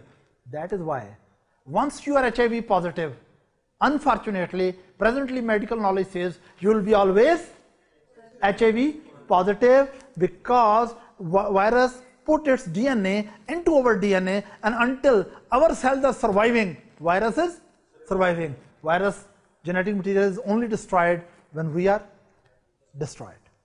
Am I clear? That is second reason that we are unable to handle this disease or uh, cure this disease. Presently, the drugs which are we are using, they uh, suppress the, you can say, replication of the virus or re-entry of virus from one cell to the other cell, right? But we cannot remove this integrated piece. And that is the reason the virus is, in a way, a permanent resident of, of our genomic material. Is that right? It's a resident evil here right? Now let's come back. I will talk what this genetic material is doing there. But before that, let's come over here that we were talking about the drugs, right? I will continue with some drugs more, but just a little. You remember I told you there was a drug here? What was this? Yes? Mara? Viroc. Say it loudly. Mara? I don't hear. Mara? Very good right? This was CCR5 blocker. Then there was another drug which could basically destroy this. Very good. What is the name of this drug? Anfu were tied. This was fusion inhibitor. Is that right? Now we come to some drugs here. yes, very interesting we play a game with the reverse transcriptase enzyme. You know, humans like not only fool each other, they also fool the virus, right? We make a special game with the virus. You know what we do? You know what this virus is, uh, th- this uh, enzyme is doing? It is catching up the nucleotides. What are these? Nucleotide. And attaching the nucleotide with each other and making a DNA. Is that right? What is the structure of nucleotide? Let me tell you. Let's suppose this is the phosphate, this is the sugar unit. What is this? Sugar unit and ribose or deoxyribose. And what is this? Nitrogenous base. Adenine, guanine, right? Now, this is I'm showing you a nucleotide. Now remember, every nucleotide sugar, it is having a hydroxyl unit here. What is it? Hydroxyl unit here. Hydroxyl unit is like a hook. What these enzymes do, they catch one nucleotide. Let's suppose if uh, here there is adenine, they will catch a nucleotide, nucleoside or nucleotide with adenine has what? Uracil, right? Or if here it is, uh, you can say cytosine, uh, what it will catch? Guanine, right? Now what happens? This nucleotide will be taken, this nucleotide will be taken and it will be inserted here complementary and every nucleotide should have this hydroxyl point. This is 3 end hydroxyl. Now what is the importance of this hydroxyl? This tail of nucleotide. Very good. That next nucleotide when it will come, it will hook with this. Then next nucleotide will come, hook with this. You are understanding? These tails are very important. These are called hydroxyl tails or hydroxyl points in the nucleotide, right? Now, how many nucleotides are there? There can be adenine here, or there may be guanine here, or uracil here, so on and so forth. Now, we play a trick with the virus. Normally, when virus is entering in our cytoplasm, it finds the complementary nucleotide and start making the chain. Start making the chain of viral DNA. What we do, we do a fraud. What we do, we have made in the pharmaceutically a nucleotide. What is this nucleotide? Suppose with adenine, but it does not have a tail, but there is no tail. There is no hydroxyl point. You are understanding? We give this drug to the patient. If I'm HIV positive, you give me a drug like this, nucleotides or nucleosides which do not have hydroxyl. If you give me this, they will go to my blood and then they will enter into cells.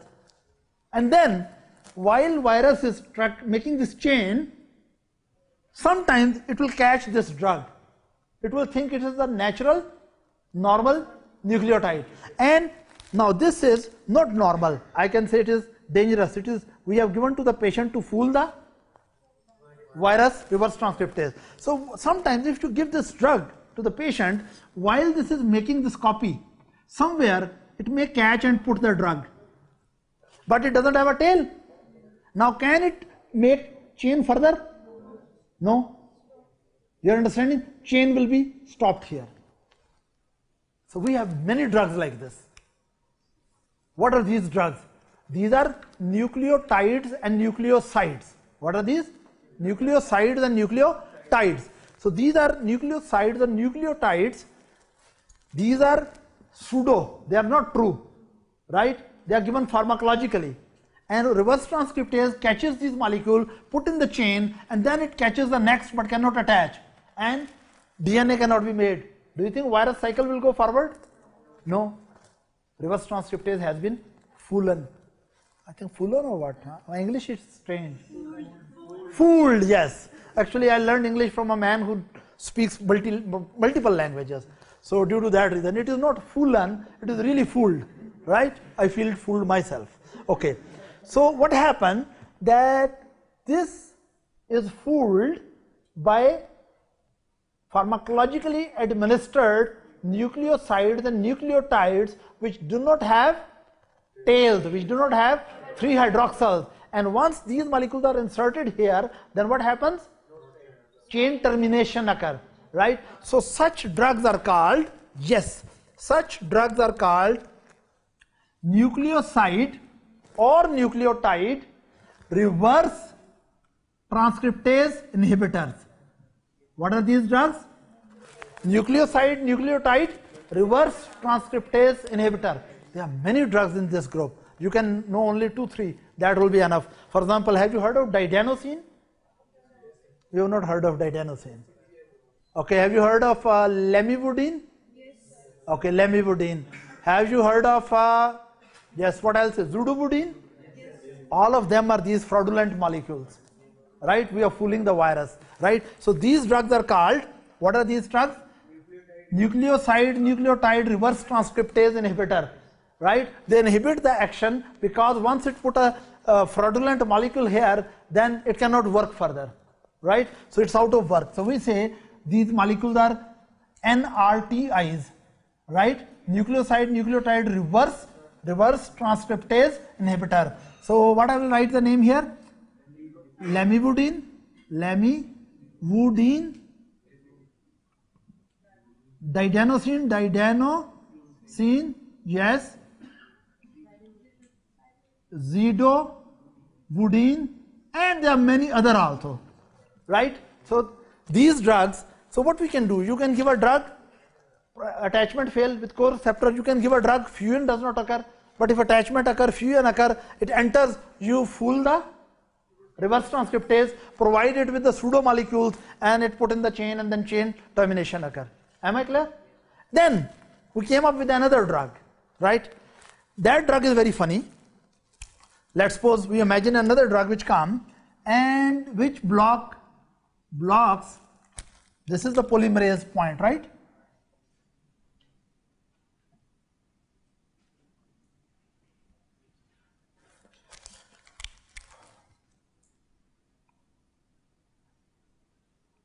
What has this drug has done?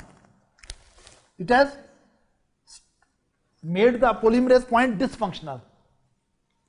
Right? This drug is different than providing the fraudulent molecule because these molecules were going and enzyme remain functioning but provided with the nucleoside nucleotide which are put in the chain but do not have hydroxyl point so chain cannot continue. Then someone came up with a drug that is making the polymerase point dysfunctional.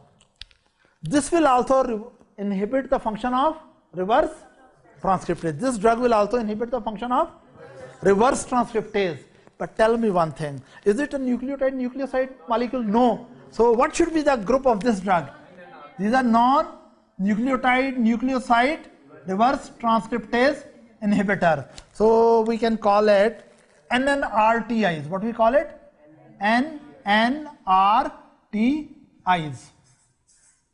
Right? Now you can imagine how these two drugs are different. NRTIs are pseudonucleotide without hydroxyl point. They f- right enzyme is fooled and put them into chain, and then because there's no hydroxyl, next nucleotide cannot be added and chain termination occur. And NNRTIs, non-nucleotide nucleoside reverse transcriptase inhibitors, are not pseudonucleotide. They are basically molecules which directly bind with the polymerase and make it dysfunctional. Can you tell me the single drug in this group? Just tell me one drug in this group. Don't forget we are going to be doctor or doctor. Just one drug, not many. Nevirapine. What is the drug here? Nevirapine. Right? So how many groups of drugs we have done? Number one is attachment inhibitor, Maraviroc, CCR5 inhibitor. Second was fusion inhibitor. What was that? Enfuvirtide. Third group came NRTIs. What is this? Like lamivudine, didanosine, zidovudine. Then the NNRTIs, non-nucleotide nucleoside reverse transcriptase inhibitor, which make the polymerase molecule dysfunctional. One classical example is nevirapine. Any question up to this? You have understood? Yes. So these uh, NRTIs that we have, will they affect the other uh, uh, DNA replication taking place in other cells or in body? Yeah, this is a very interesting question. She is saying that uh, if we give the patient these pseudo molecules, will it affect our normal physiological uh, DNA polymerization? Yes, it can. But what we do, we try, try to use those molecules as a antiretroviral drug which are little bit different, right? And molecules which have more affinity for viral reverse transcriptase inhibitor and less affinity for human DNA polymerase molecules. Is that right? But anyway, many of these side effects occur because our own biological mechanisms are also affected and suppressed. For example, bone marrow failure, right? Because in bone marrow the cells are very rapidly multiplying and they're making a lot of DNA. And if we provide pseudo molecules, sometimes they fit into our normal physiological bone marrow function, replicative pool, and bone marrow failure may occur. We'll talk in detail when I will teach you a full lecture about antiretroviral drugs. This is just discussion, right? Okay. So any any more question? Okay. Let's move forward. What is the next point to hit? Hit this man. What is this man? Integrase enzyme. If you give a drug and destroy this, and it cannot integrate viral DNA into our system, virus does not. Now listen very carefully. This proviral DNA, this is also called cDNA, complementary DNA. This is cDNA, proviral DNA. It cannot make the virus until it is not integrated in our DNA. Or if we uh, give a drug which will disturb this enzyme, what is this enzyme? Integrase. If we give a drug, then integrase fails, and integrase cannot integrate viral DNA here. Do you think virus can replicate very well? No. So we have one drug here also. All the money on it and effort on research against HIV has not been wasted. Now they are promising results. So there's a drug here. Which drug is here? Yes. Okay, before you tell me something funny, let me tell you what is the drug. The drug which inhibit integrase that is called Raltegravir. Ralti Gravir, V-I-R, Raltegravir, right? So Raltegravir is the drug, uh, one example of the drug which belong to the group of integrase inhibitors. So up to now, how many groups? CCR5 inhibitors, GP41 fusion inhibitors, NRTIs inhibitors, which are pseudonucleotide type things, then NNRTIs, which make the polymerase dysfunctional, and if virus passes through all these stages, we make a trouble here. Don't let it integrate. And drug is? Say it loudly. I feel your silencer in your mouth. Yes? Ralti graver, right? So this is one, how viruses, proviral DNA is integrated there. Once this become a permanent resident evil of our genomic material, now here it will sit and one day it become active and start making a lot of copies. Right? Now, why it should make copy? Before it start functioning and making viral RNA and viral proteins and one virus entered and now millions of viruses going out, I want to go into some other detail, the structure of this genome. I want to discuss in detail the structure of genome. Should I discuss now or later? You want to learn genome now or I directly go for application? Okay, now. So you don't have patience. Okay, let me make it a little more clear. Viral genome.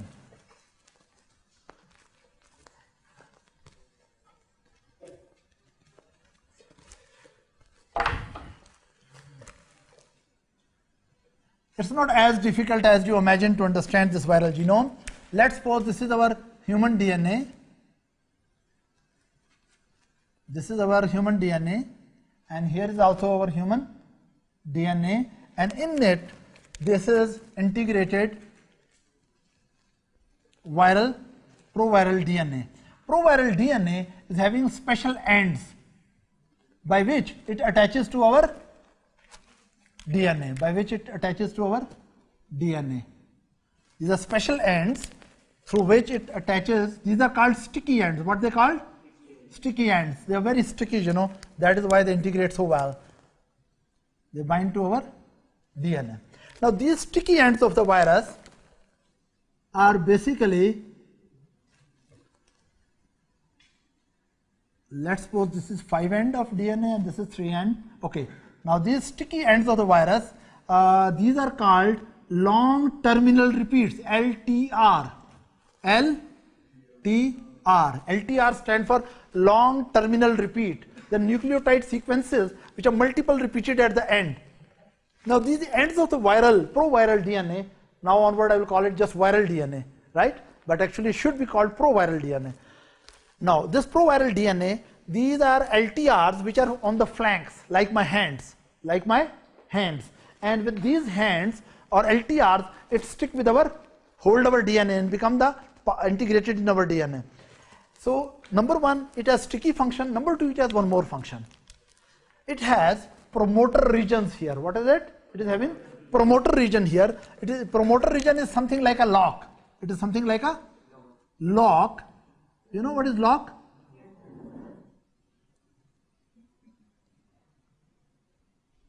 Here the key. Now, this region is locked. If you have the key, if you have a key and you open it, this DNA will open and start making copies. What will happen? It will start making copies of RNA and cell will start producing virus. This is called promoter region or enhancer region because if this lock is open, the viral formation is promoted or enhanced or viral DNA transcription into RNA is enhanced or promoted. So in LTR there are what the special locks which are called promoter regions, right? The multiple locks. So the multiple kind of what are these multiple kind of keys can work. The keys which work here, keys which open it, they they what once the key is applied here, and what will happen that from this uh, DNA, what will start making RNA. That function is called what transcription. So any key, a biological molecule which opens this lock, that is called transcription factor. What is that called? Transcription factor. Here I want to tell one thing. Unfortunately, our bad luck. Some transcription factor which are activated to activate our genes also work here stupidly. I mean in our cells there are some special transcription factor, there are special keys.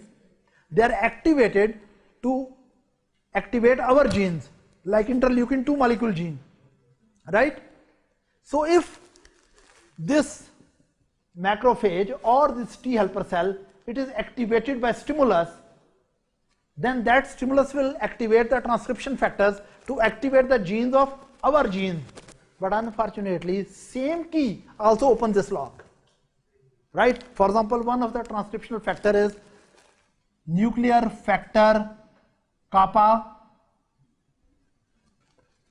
nuclear factor kappa B, right?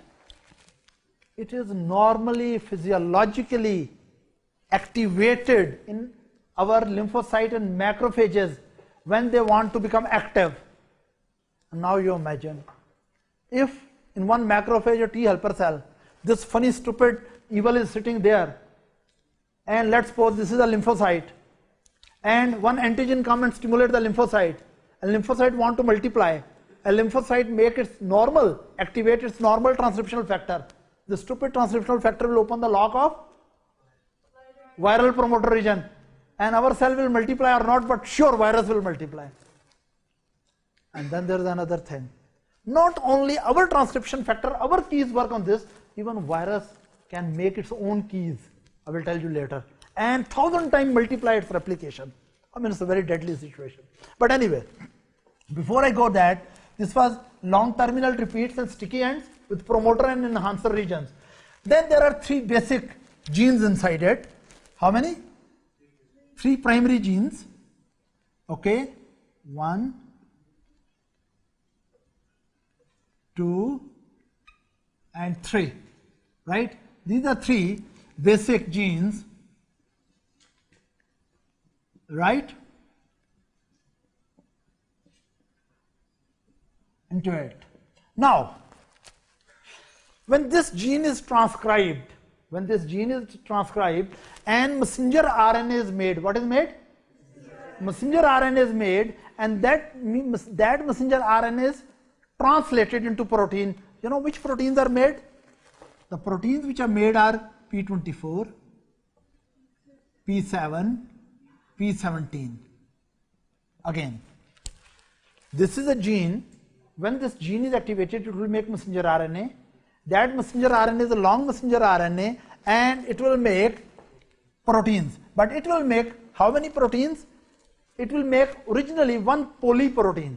It will make originally one polyprotein and that polyprotein need to be cut into three pieces. One piece will be P24 for example, I will show you here from this gene.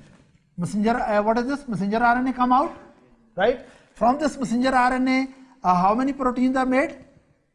Initially one polyprotein is made. One then second and then third.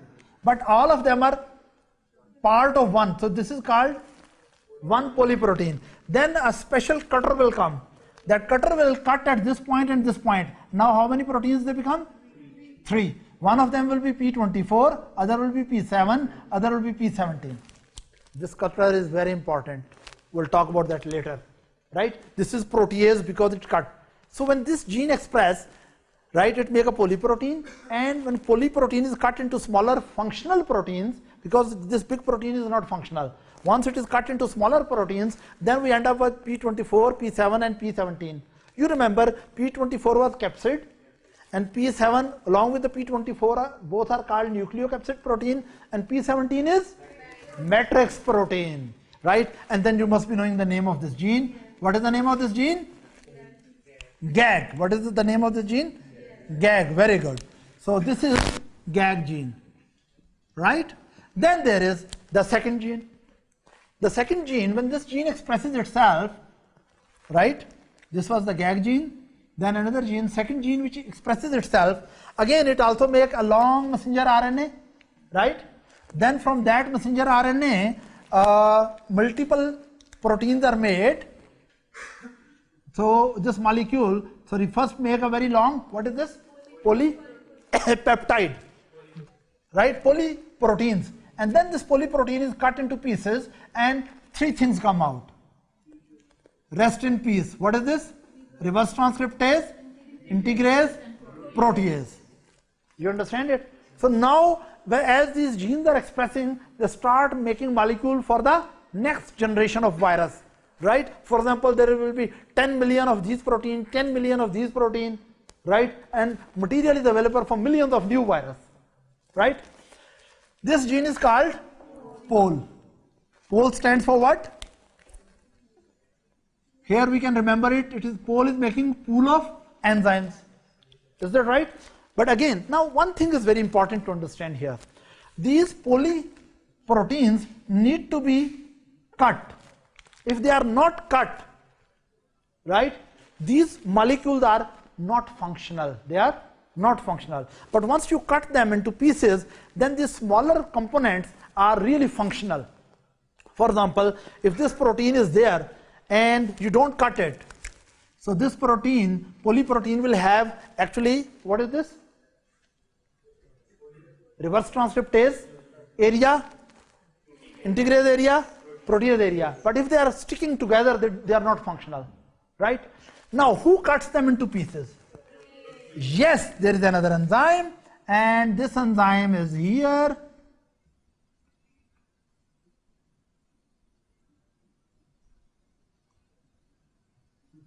this is protease this one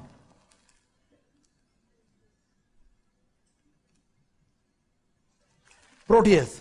This is which is going to cut into pieces, cut into pieces. You are getting it? And make the non-functional polyproteins into functional polypeptide, uh, functional peptides. Is that right?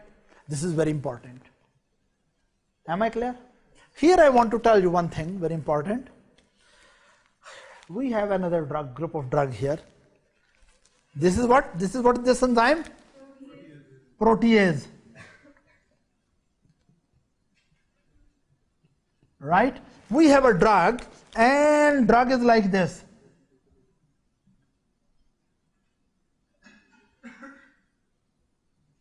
do you think now protease can work so this drug what should be the name of this drug protease inhibitor what is the name of this drug? Protease inhibitor. So there are protease inhibitor drugs another group of drugs right? You remember after integrase, we have designed the drugs which are protease inhibitors. And if we give the patient these protease inhibitors, they will go into these cells and even if virus attach and virus fuse and virus goes through all this reverse transcription and then integration and then formation of transcription and messenger RNA and even making the what? Polyprotein. But if polyprotein cannot be cut into functional proteins, virus will be made, but its proteins will be normal or abnormal. And when virus has these abnormal proteins, we call this virus immature virus. What we call it? Immature virus. And this immature virus is non-infectious. It cannot enter into other cell. And virus cycle is blocked. So this is another way how you use.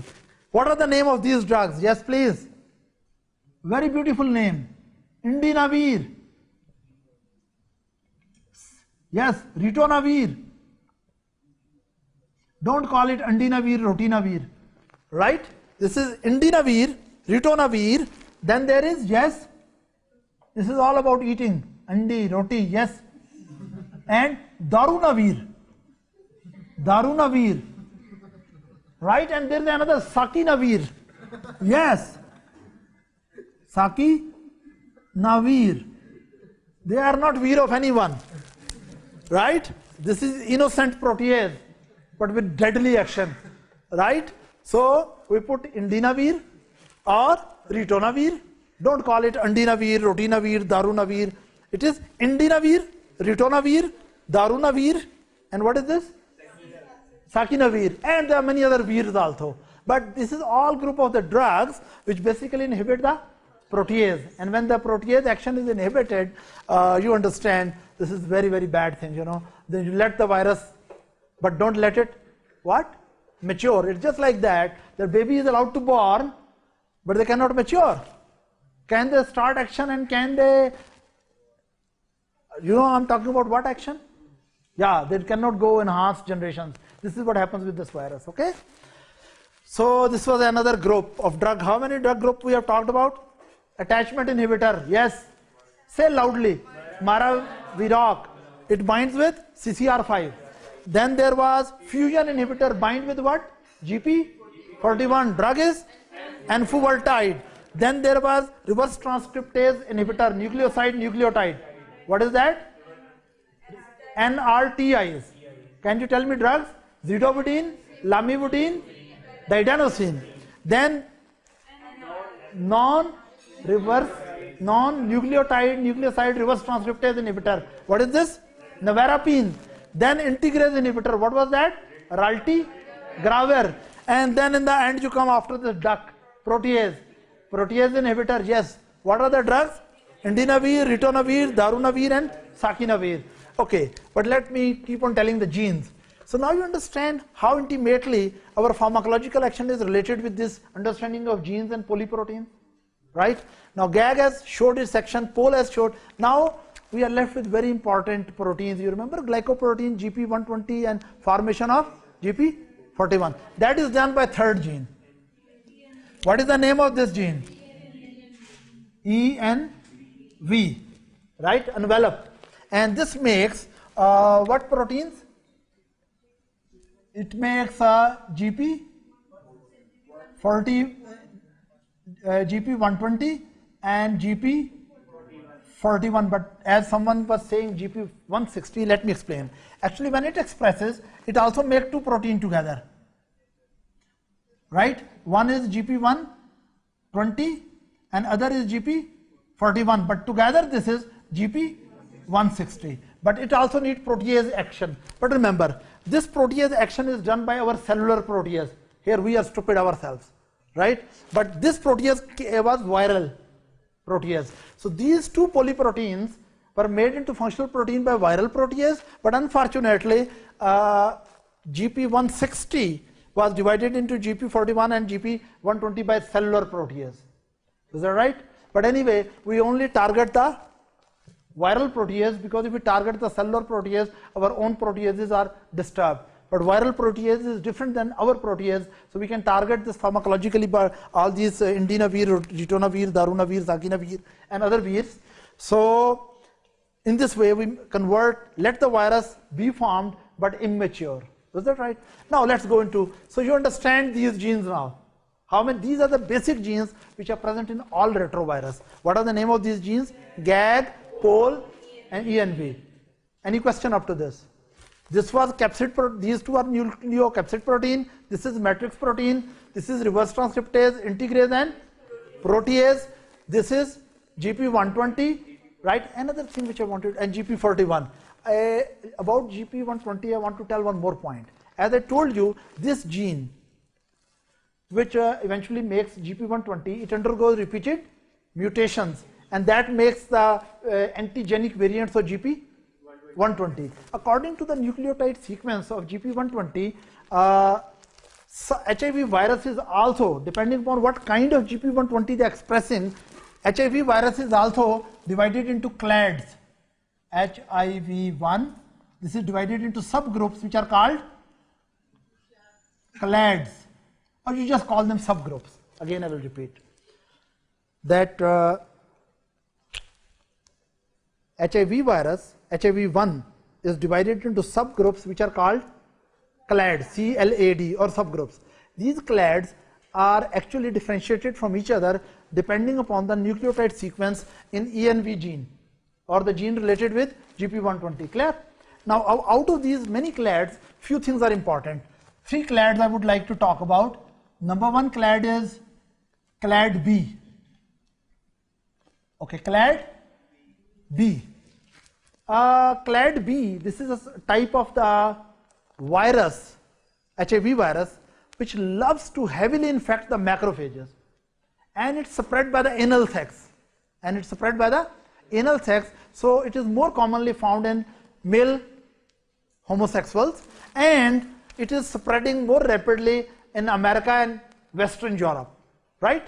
So B clad, B for back, B for B for back, and B for B clad, which actually uh, spreads. This is an HIV which loves to concentrate into macrophages, and macrophage uh, usually transfer into male to male uh, sexual activity, anal activity, right? Because in that the anal, anal mucosa, rectal mucosa is very delicate and very easily tears develop, and semen with the, a person if uh, person if donor person is having HIV virus right in his semen that will enter through the those points. Then there is E clad.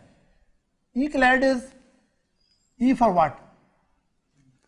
E clad is little different. As B clad like macrophages, E clad loves to bind with female uh, genital tract cells. Even though all HIV virus love the female genital tract, but this one have a special love because even small amount of this clad enter into female genital tract, it stick there and enter in the cell very efficiently. So basically, uh, E-clad more efficiently transmits through heterosexual activity, right, between male and female. Then there is another clad. Okay, this I told you is in B clad is more in USA and Western Europe. E clad is uh, more commonly spreading in which countries? Specifically in Thailand. And then recently they found there's another clad, C clad. Oh my God, this is the most dangerous now, most rapidly spreading all over the world, especially in India, or other parts of Asia and South Africa, right? And Ethiopia, C-clad. But anyway, what I wanted to mention that HIV virus is subclassified into clades depending upon the nucleotide sequence and uh, gene related with GP120. Am I clear? Now let's come back. You may be thinking why we are thinking a lot about it because in near future they are coming with the drugs. Some drugs will be more effective on B-clad, other drugs will be more effective on E-clad, and still others will be more effective on C-clad. So I'm preparing you for future also. But let's focus on present now. So these three are the basic genes, and these three genes are called structural genes. What are they called? Structural genes. These genes are called structural gene. Now I will give you a concept that through the same genetic material, through the same genetic material, virus can produce six more proteins. The question is that through the same genes, how virus can make other type of proteins because our general concept is one gene is for one messenger RNA is for one protein. But how come? Let me explain. There's a concept of reading frames, right? Reading frames. Let me explain how is the reading frame. Let's suppose I write here 1, 2, 3, 4, 5, 6, 7, 8, 9, 10, 11, 12, 13. I'm just writing something, right? Now, if I make three reading frames, this is one reading frame, this is second reading frame, this is the third reading frame. Just imagine this is genetic information, this is GAG, this is pol, and this is ENV. Clear? This is the basic reading frame. Reading frame means how the genetic material is read by the polymerase enzymes. Now, sometimes it happen, sometimes no, always. In HIV viral genome, they shift the reading frame. For example, the uh, polymerase come here, it does not read into these three segments, not reading one unit, then second unit, then third unit. Sometimes it read like this, read like this, read like this, read like this. Now, if it start, shift the reading frames, the messenger RNA will be the same as initial or different, and then proteins made will be different. So what happens with the same basic genetic information, virus can uh, use the same genetic material to make the structural protein, and then by shifting the reading frame, it makes smaller messenger RNAs and they make more proteins which are called regulatory proteins. And those genes are called regulatory genes. Regulatory genes. So basically, if it is, let's suppose, these are the three primary, one and two and three. So these are structural genes. But same genetic material, if reading frame is changed, rather than three, it makes six, then we call it the same genetic material is acting as regulatory genes. So basically, virus also need more proteins, but it is able to make more proteins by the same genetic information, but reading in a different way. Yes, please, you have a question. Uh, we are told that frame shift mutation actually results in uh, non-regulatory and uh, non-functional proteins. Is it programmed? It is programmed. These are very specific, not random. Uh, or it's a mutation? No, it's not a mutation. Uh, frame shift mutation in human genetic material, yes, they may end up into abnormal protein formation which are not functional, right? But this is normal function. This is not abnormal. Normally, virus plays this game that it can same the um, uh, use the three basic reading frames out of this, and then it can make six reading frame. So how many proteins it can make? Three group here, which are structural proteins, and six more group which are regulatory proteins. You are understanding? But when it is reading in a different way, then we call it a different name of gene. Am I clear? But if it's out of rather than 6, if it make 20, then of course that reading frame shift is dangerous. Am I clear? So now we go back. Now after shifting the reading frames, the genes which are present over here, uh, I'm just making a functional diagram. I mean, there can be more genes. The genes which are there, they can be called TAT, REV,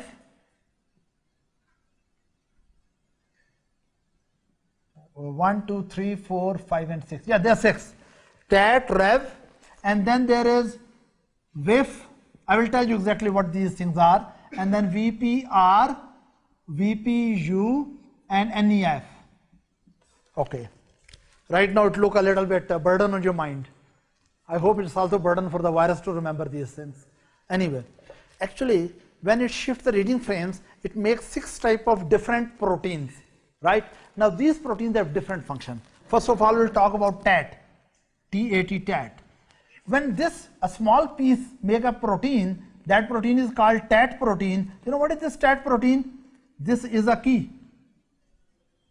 What is this? This is a key and this will go and act here and what will happen? Transcription will be less or more? More. So this is called transactivator protein. What is it? T for trans, AT activator.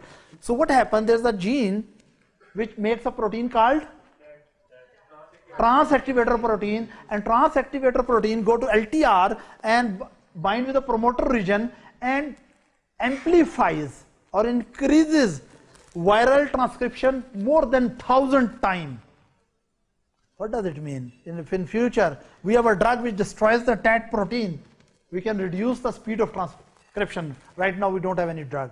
But I want my children to study this because I hope in your life drugs like that will appear. Okay? So TAT is transactivator. Clear? Then REV. Rev is making a protein and it is just like a donkey. I don't know how to make a donkey, but it is just like a donkey. Right? And I don't know how to make a donkey. Donkey has uh, horns or not? No? Okay, this is donkey you just made. This is rev protein, right? Now, this is this is innocent donkey. You know, the, uh, this special function of this. This rev protein take the messenger RNA from the nucleus to the cytoplasm more efficiently. You remember, this is present in our DNA. So it is present in our T cell or macrophage nucleus. So here the messenger RNAs are made for these protein, these protein and these protein. But these rev protein, when it is made, it just work like a working donkey. It carries these messenger RNA and rapidly bring them to the cytoplasm so that rapidly it should be translated into other protein. So this is also regulating what? Regulating the translation, amplifying the translation by taking the late messenger RNA from the nucleus to the cytoplasm where there are ribosomes and messenger RNA can be translated into protein formation. Am I clear? Then we come to, you know, virus is not so innocent. We don't allow virus to play these games with us. Even we don't allow our spouses to play games with us. Forget about virus. At least we try. So our immune system try to fight with virus, but virus has also its defenses. Now let me tell you how. There is a protein which is normally present in our blood. The protein is called APOBEC3G. Very funny name. And it is very naughty looking protein. What is this? APOBEC3G. Right? It has now this protein is normally present in cells, our cells, and special function of this protein is that if any viral DNA come in our what? Viral DNA come into our cell, this protein will go and destroy viral DNA. You understand it?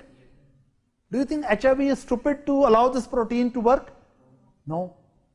Because if HIV allow this virus, eh, this protein to work, then we will not be having this disease.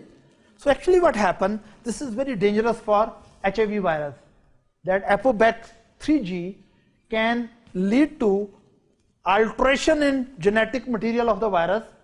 We call it, it produces hypermutations, right? There's no need to go into detail that I should tell you that it goes and alters the thymine and deaminates and produces uracil. I've not told you this, right? You just remember APOBEC3G basically damages the viral DNA.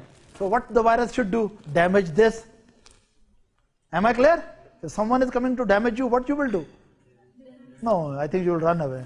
But anyway, so because our cell cannot run away from virus, so let's damage it. So actually, this produces, this gene produces a special type of cannons. You know cannons? And they destroy this. I don't know how to make cannon, but just imagine this is cannon. Okay? Now, this protein, thank God they didn't put a funny name. In the beginning, they only knew that this protein increases the infectivity of the virus. Why? Because if this protein is made by the virus, then this protein will destroy APOBEC3G, then viral DNA will not be destroyed, more virus will be made and infection will spread.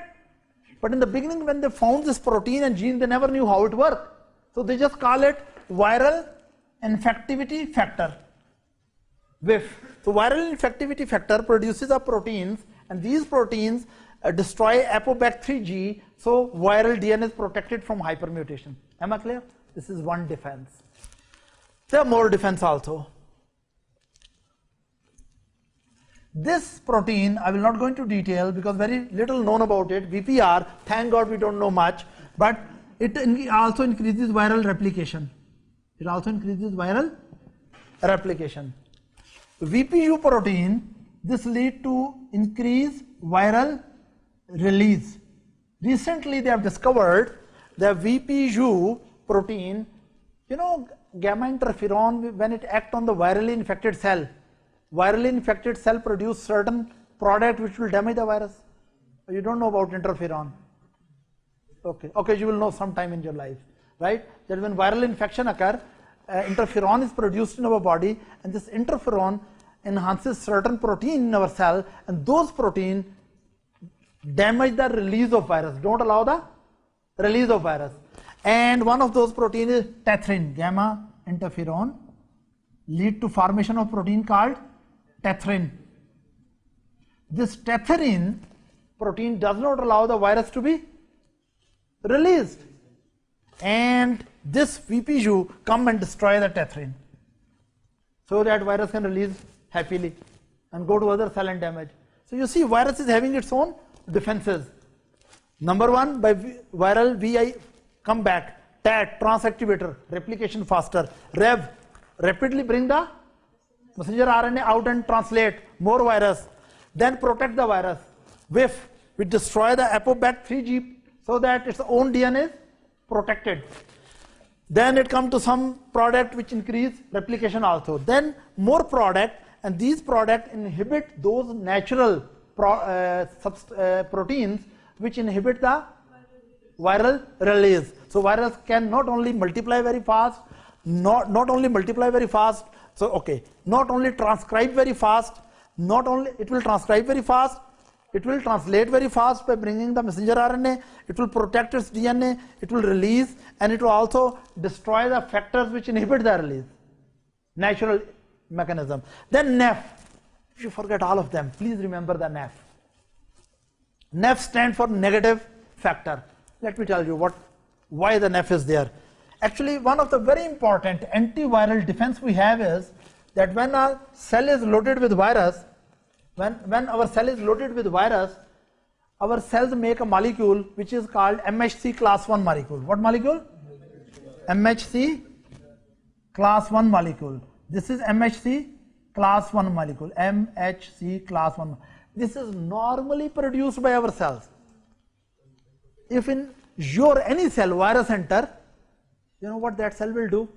That cell will produce MHC class 1 molecule and take the pieces of virus and put over there. What is this piece of virus? Again, it is just like that, that in your house, some enemy come like virus.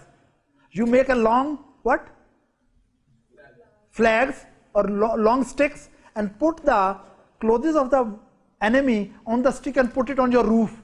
So that police which is moving outside the street can recognize there is some enemy inside. In the same way, again, first analogy. If some uh, wrong people enter into your house, right? You want to get them out. Police is already searching for them on the road. So you want to communicate to the police that this dangerous group is in your house. One way you can do, take some of their caps, take their, I feel sad. Okay, uh, you take their caps and put them on the stick and put it on the top of your house. When police will pass by, they will know that there's enemy inside. So they will destroy your home and destroy you and your right? Same thing our cells do. When in our cell virus enter, our cells make special sticks. These sticks are called MHC1 and here they put viral peptide, right? And all over the surface of the virally infected cell, class 1 molecule with sample the viral peptide appear. This normally happens in virally infected cells. And then there are special cells which are called T cytotoxic. These cells can recognize the viral protein in association with, with, with class 1 molecule. This is the police cell. T cytotoxic, right? These T cytotoxic, when they're moving outside the cell, they can recognize viral peptide with class 1. And if this combination is made, they think, okay, virus is hiding here. So they release certain product and destroy the cell. And if the cell is destroyed, can virus keep its business here? And can virus make millions of copy there? No. So virus is very worried that our DNA, human DNA, it make which protein? class 1 molecules, our DNA. So what happened? Virus produces a protein called NEF, and NEF protein goes and dis- disturbs this gene. So this is very sad. Most of the virus don't treat us like this. This is very cunning that this virus is present in our cell and our cell want to report that by taking one piece but but we can only report if we are having which molecule MHC class 1 and this NEF gene of the virus produces a protein which downregulates the expression of class 1 molecule. So virus keep on sitting in the cell and class 1 molecules are not made. So virus is not reported on the surface. T cytotoxins are just desperately moving around but they don't know where the virus is hidden and virus just keep on coming out from here. You are understanding? So these are the different regulatory proteins and viral strategy to beat our immune system. Now let me repeat it rapidly. Genome of the virus is not difficult to understand. Most of the retroviral genome has three basic genes, GAG, POL and ENV. GAG is for structural proteins, right? And nucleo, sorry, all of them are structural protein, but GAG is for nucleoproteins, right? Nucleocapsid proteins and matrix proteins. POL is for enzymes, The reverse transcriptase, integrase, protease. ENV is for making envelope. You remember GP120 which bind with CD4 and also can bind with co-receptor with CCR5 on macrophages, CXCR4 on T helper cell and it also makes GP41 which help in fusion and then by shifting the reading frames it, it can produce regulatory proteins right TAT which increases transactivator and viral right and rev which bring the messenger RNA out and VIF which produces a protein which destroy APOBEC3G to protect the DNA. Then VPR, thank God, don't know much. It just increases replication. VPU produces product and inhibit our interferon-induced tetherins, uh, tetherins, which normally inhibit the release of virus. So when this is neutralized, virus is well released. Then NEF. NEF produces a product which down regulate the expression of which molecule? MHC class 1. So we cannot report, the cell cannot report the viral peptide in association with class 1 on its membrane and which cell cannot find the virus? T cytotoxic. Am I clear?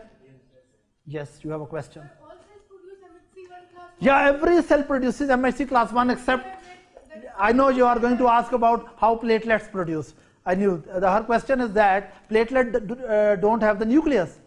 So do class 1 molecules are present on platelet? Answer is yes. The reason being originally platelets are derived from megakaryocytes. Megakaryocyte had the nucleus and megakaryocyte nucleus expressed the genes and made class 1 molecule.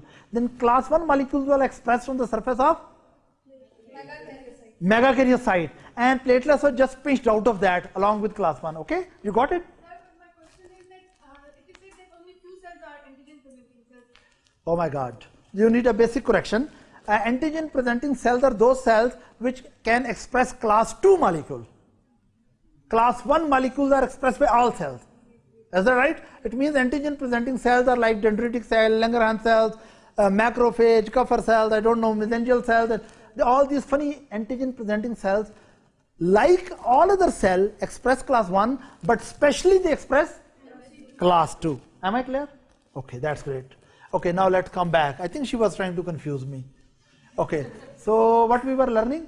I'm really confused. What was the last thing i was teaching? Yeah this viral business and genetics you understand it well right? So in the end to make the things closing here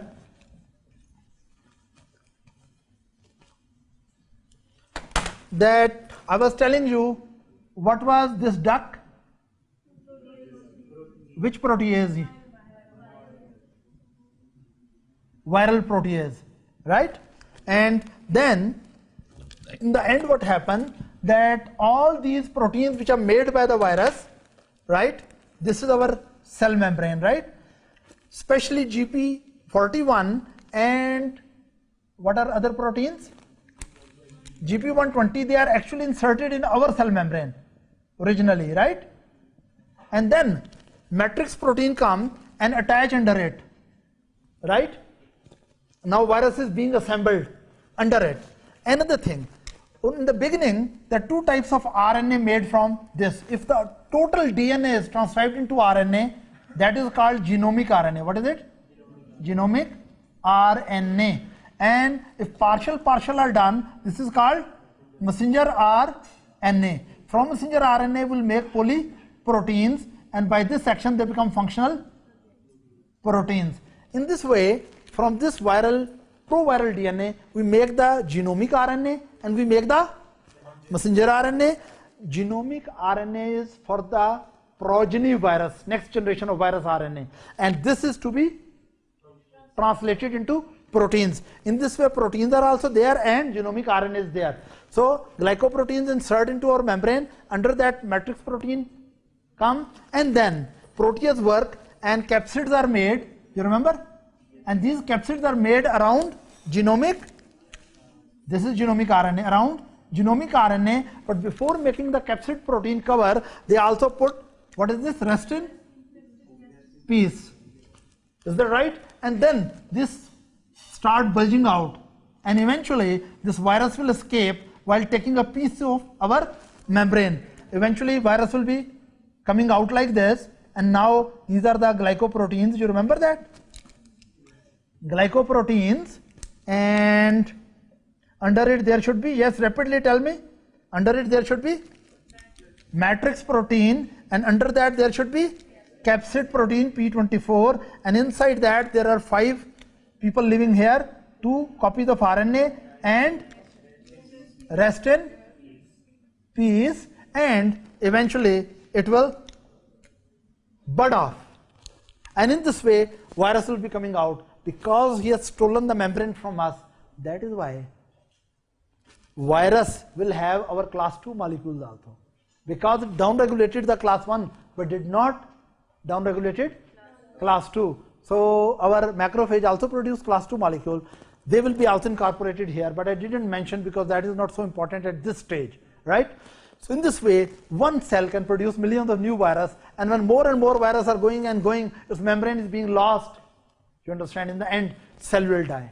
In next lecture we will talk about this was all about the structure of the virus, right?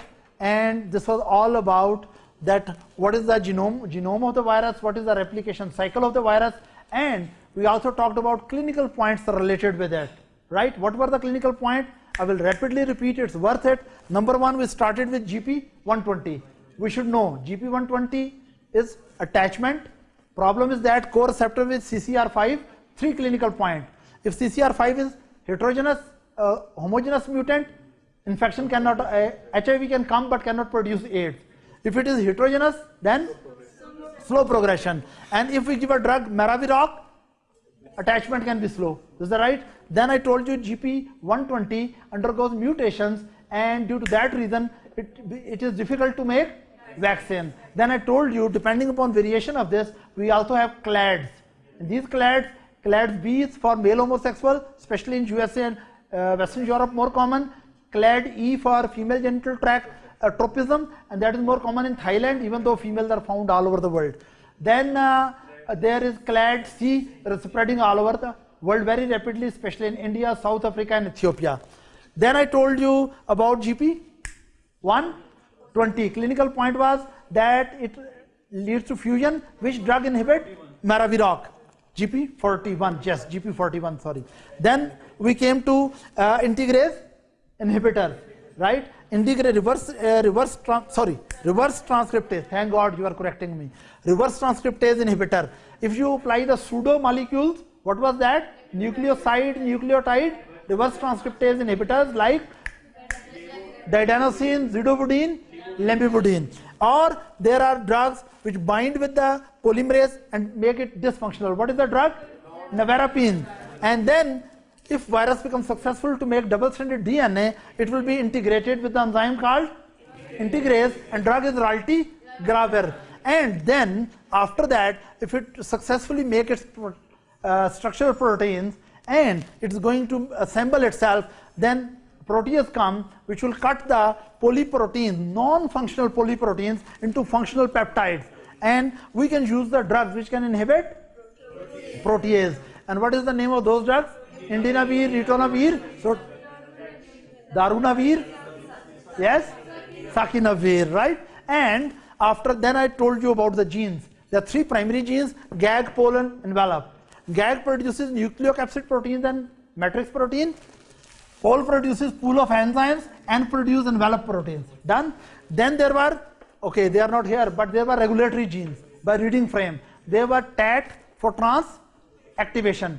Then there were REV to bring RNA out. Then there was VIF to destroy the ApoBac 3G to protect its own DNA from hypermutation. Then there was VPR just uh, for replication enhanced. Then VPU which uh, increases the release because it inhibits the proteins which inhibit the release right there was a protein called tetherin VPU inhibit that right? So that uh, virus release cannot be inhibited and more efficient. Then there's nef and nef was doing what? Inhibiting the expression of class 1 molecule. So t cytotoxics are not knowing where the factory of virus is working right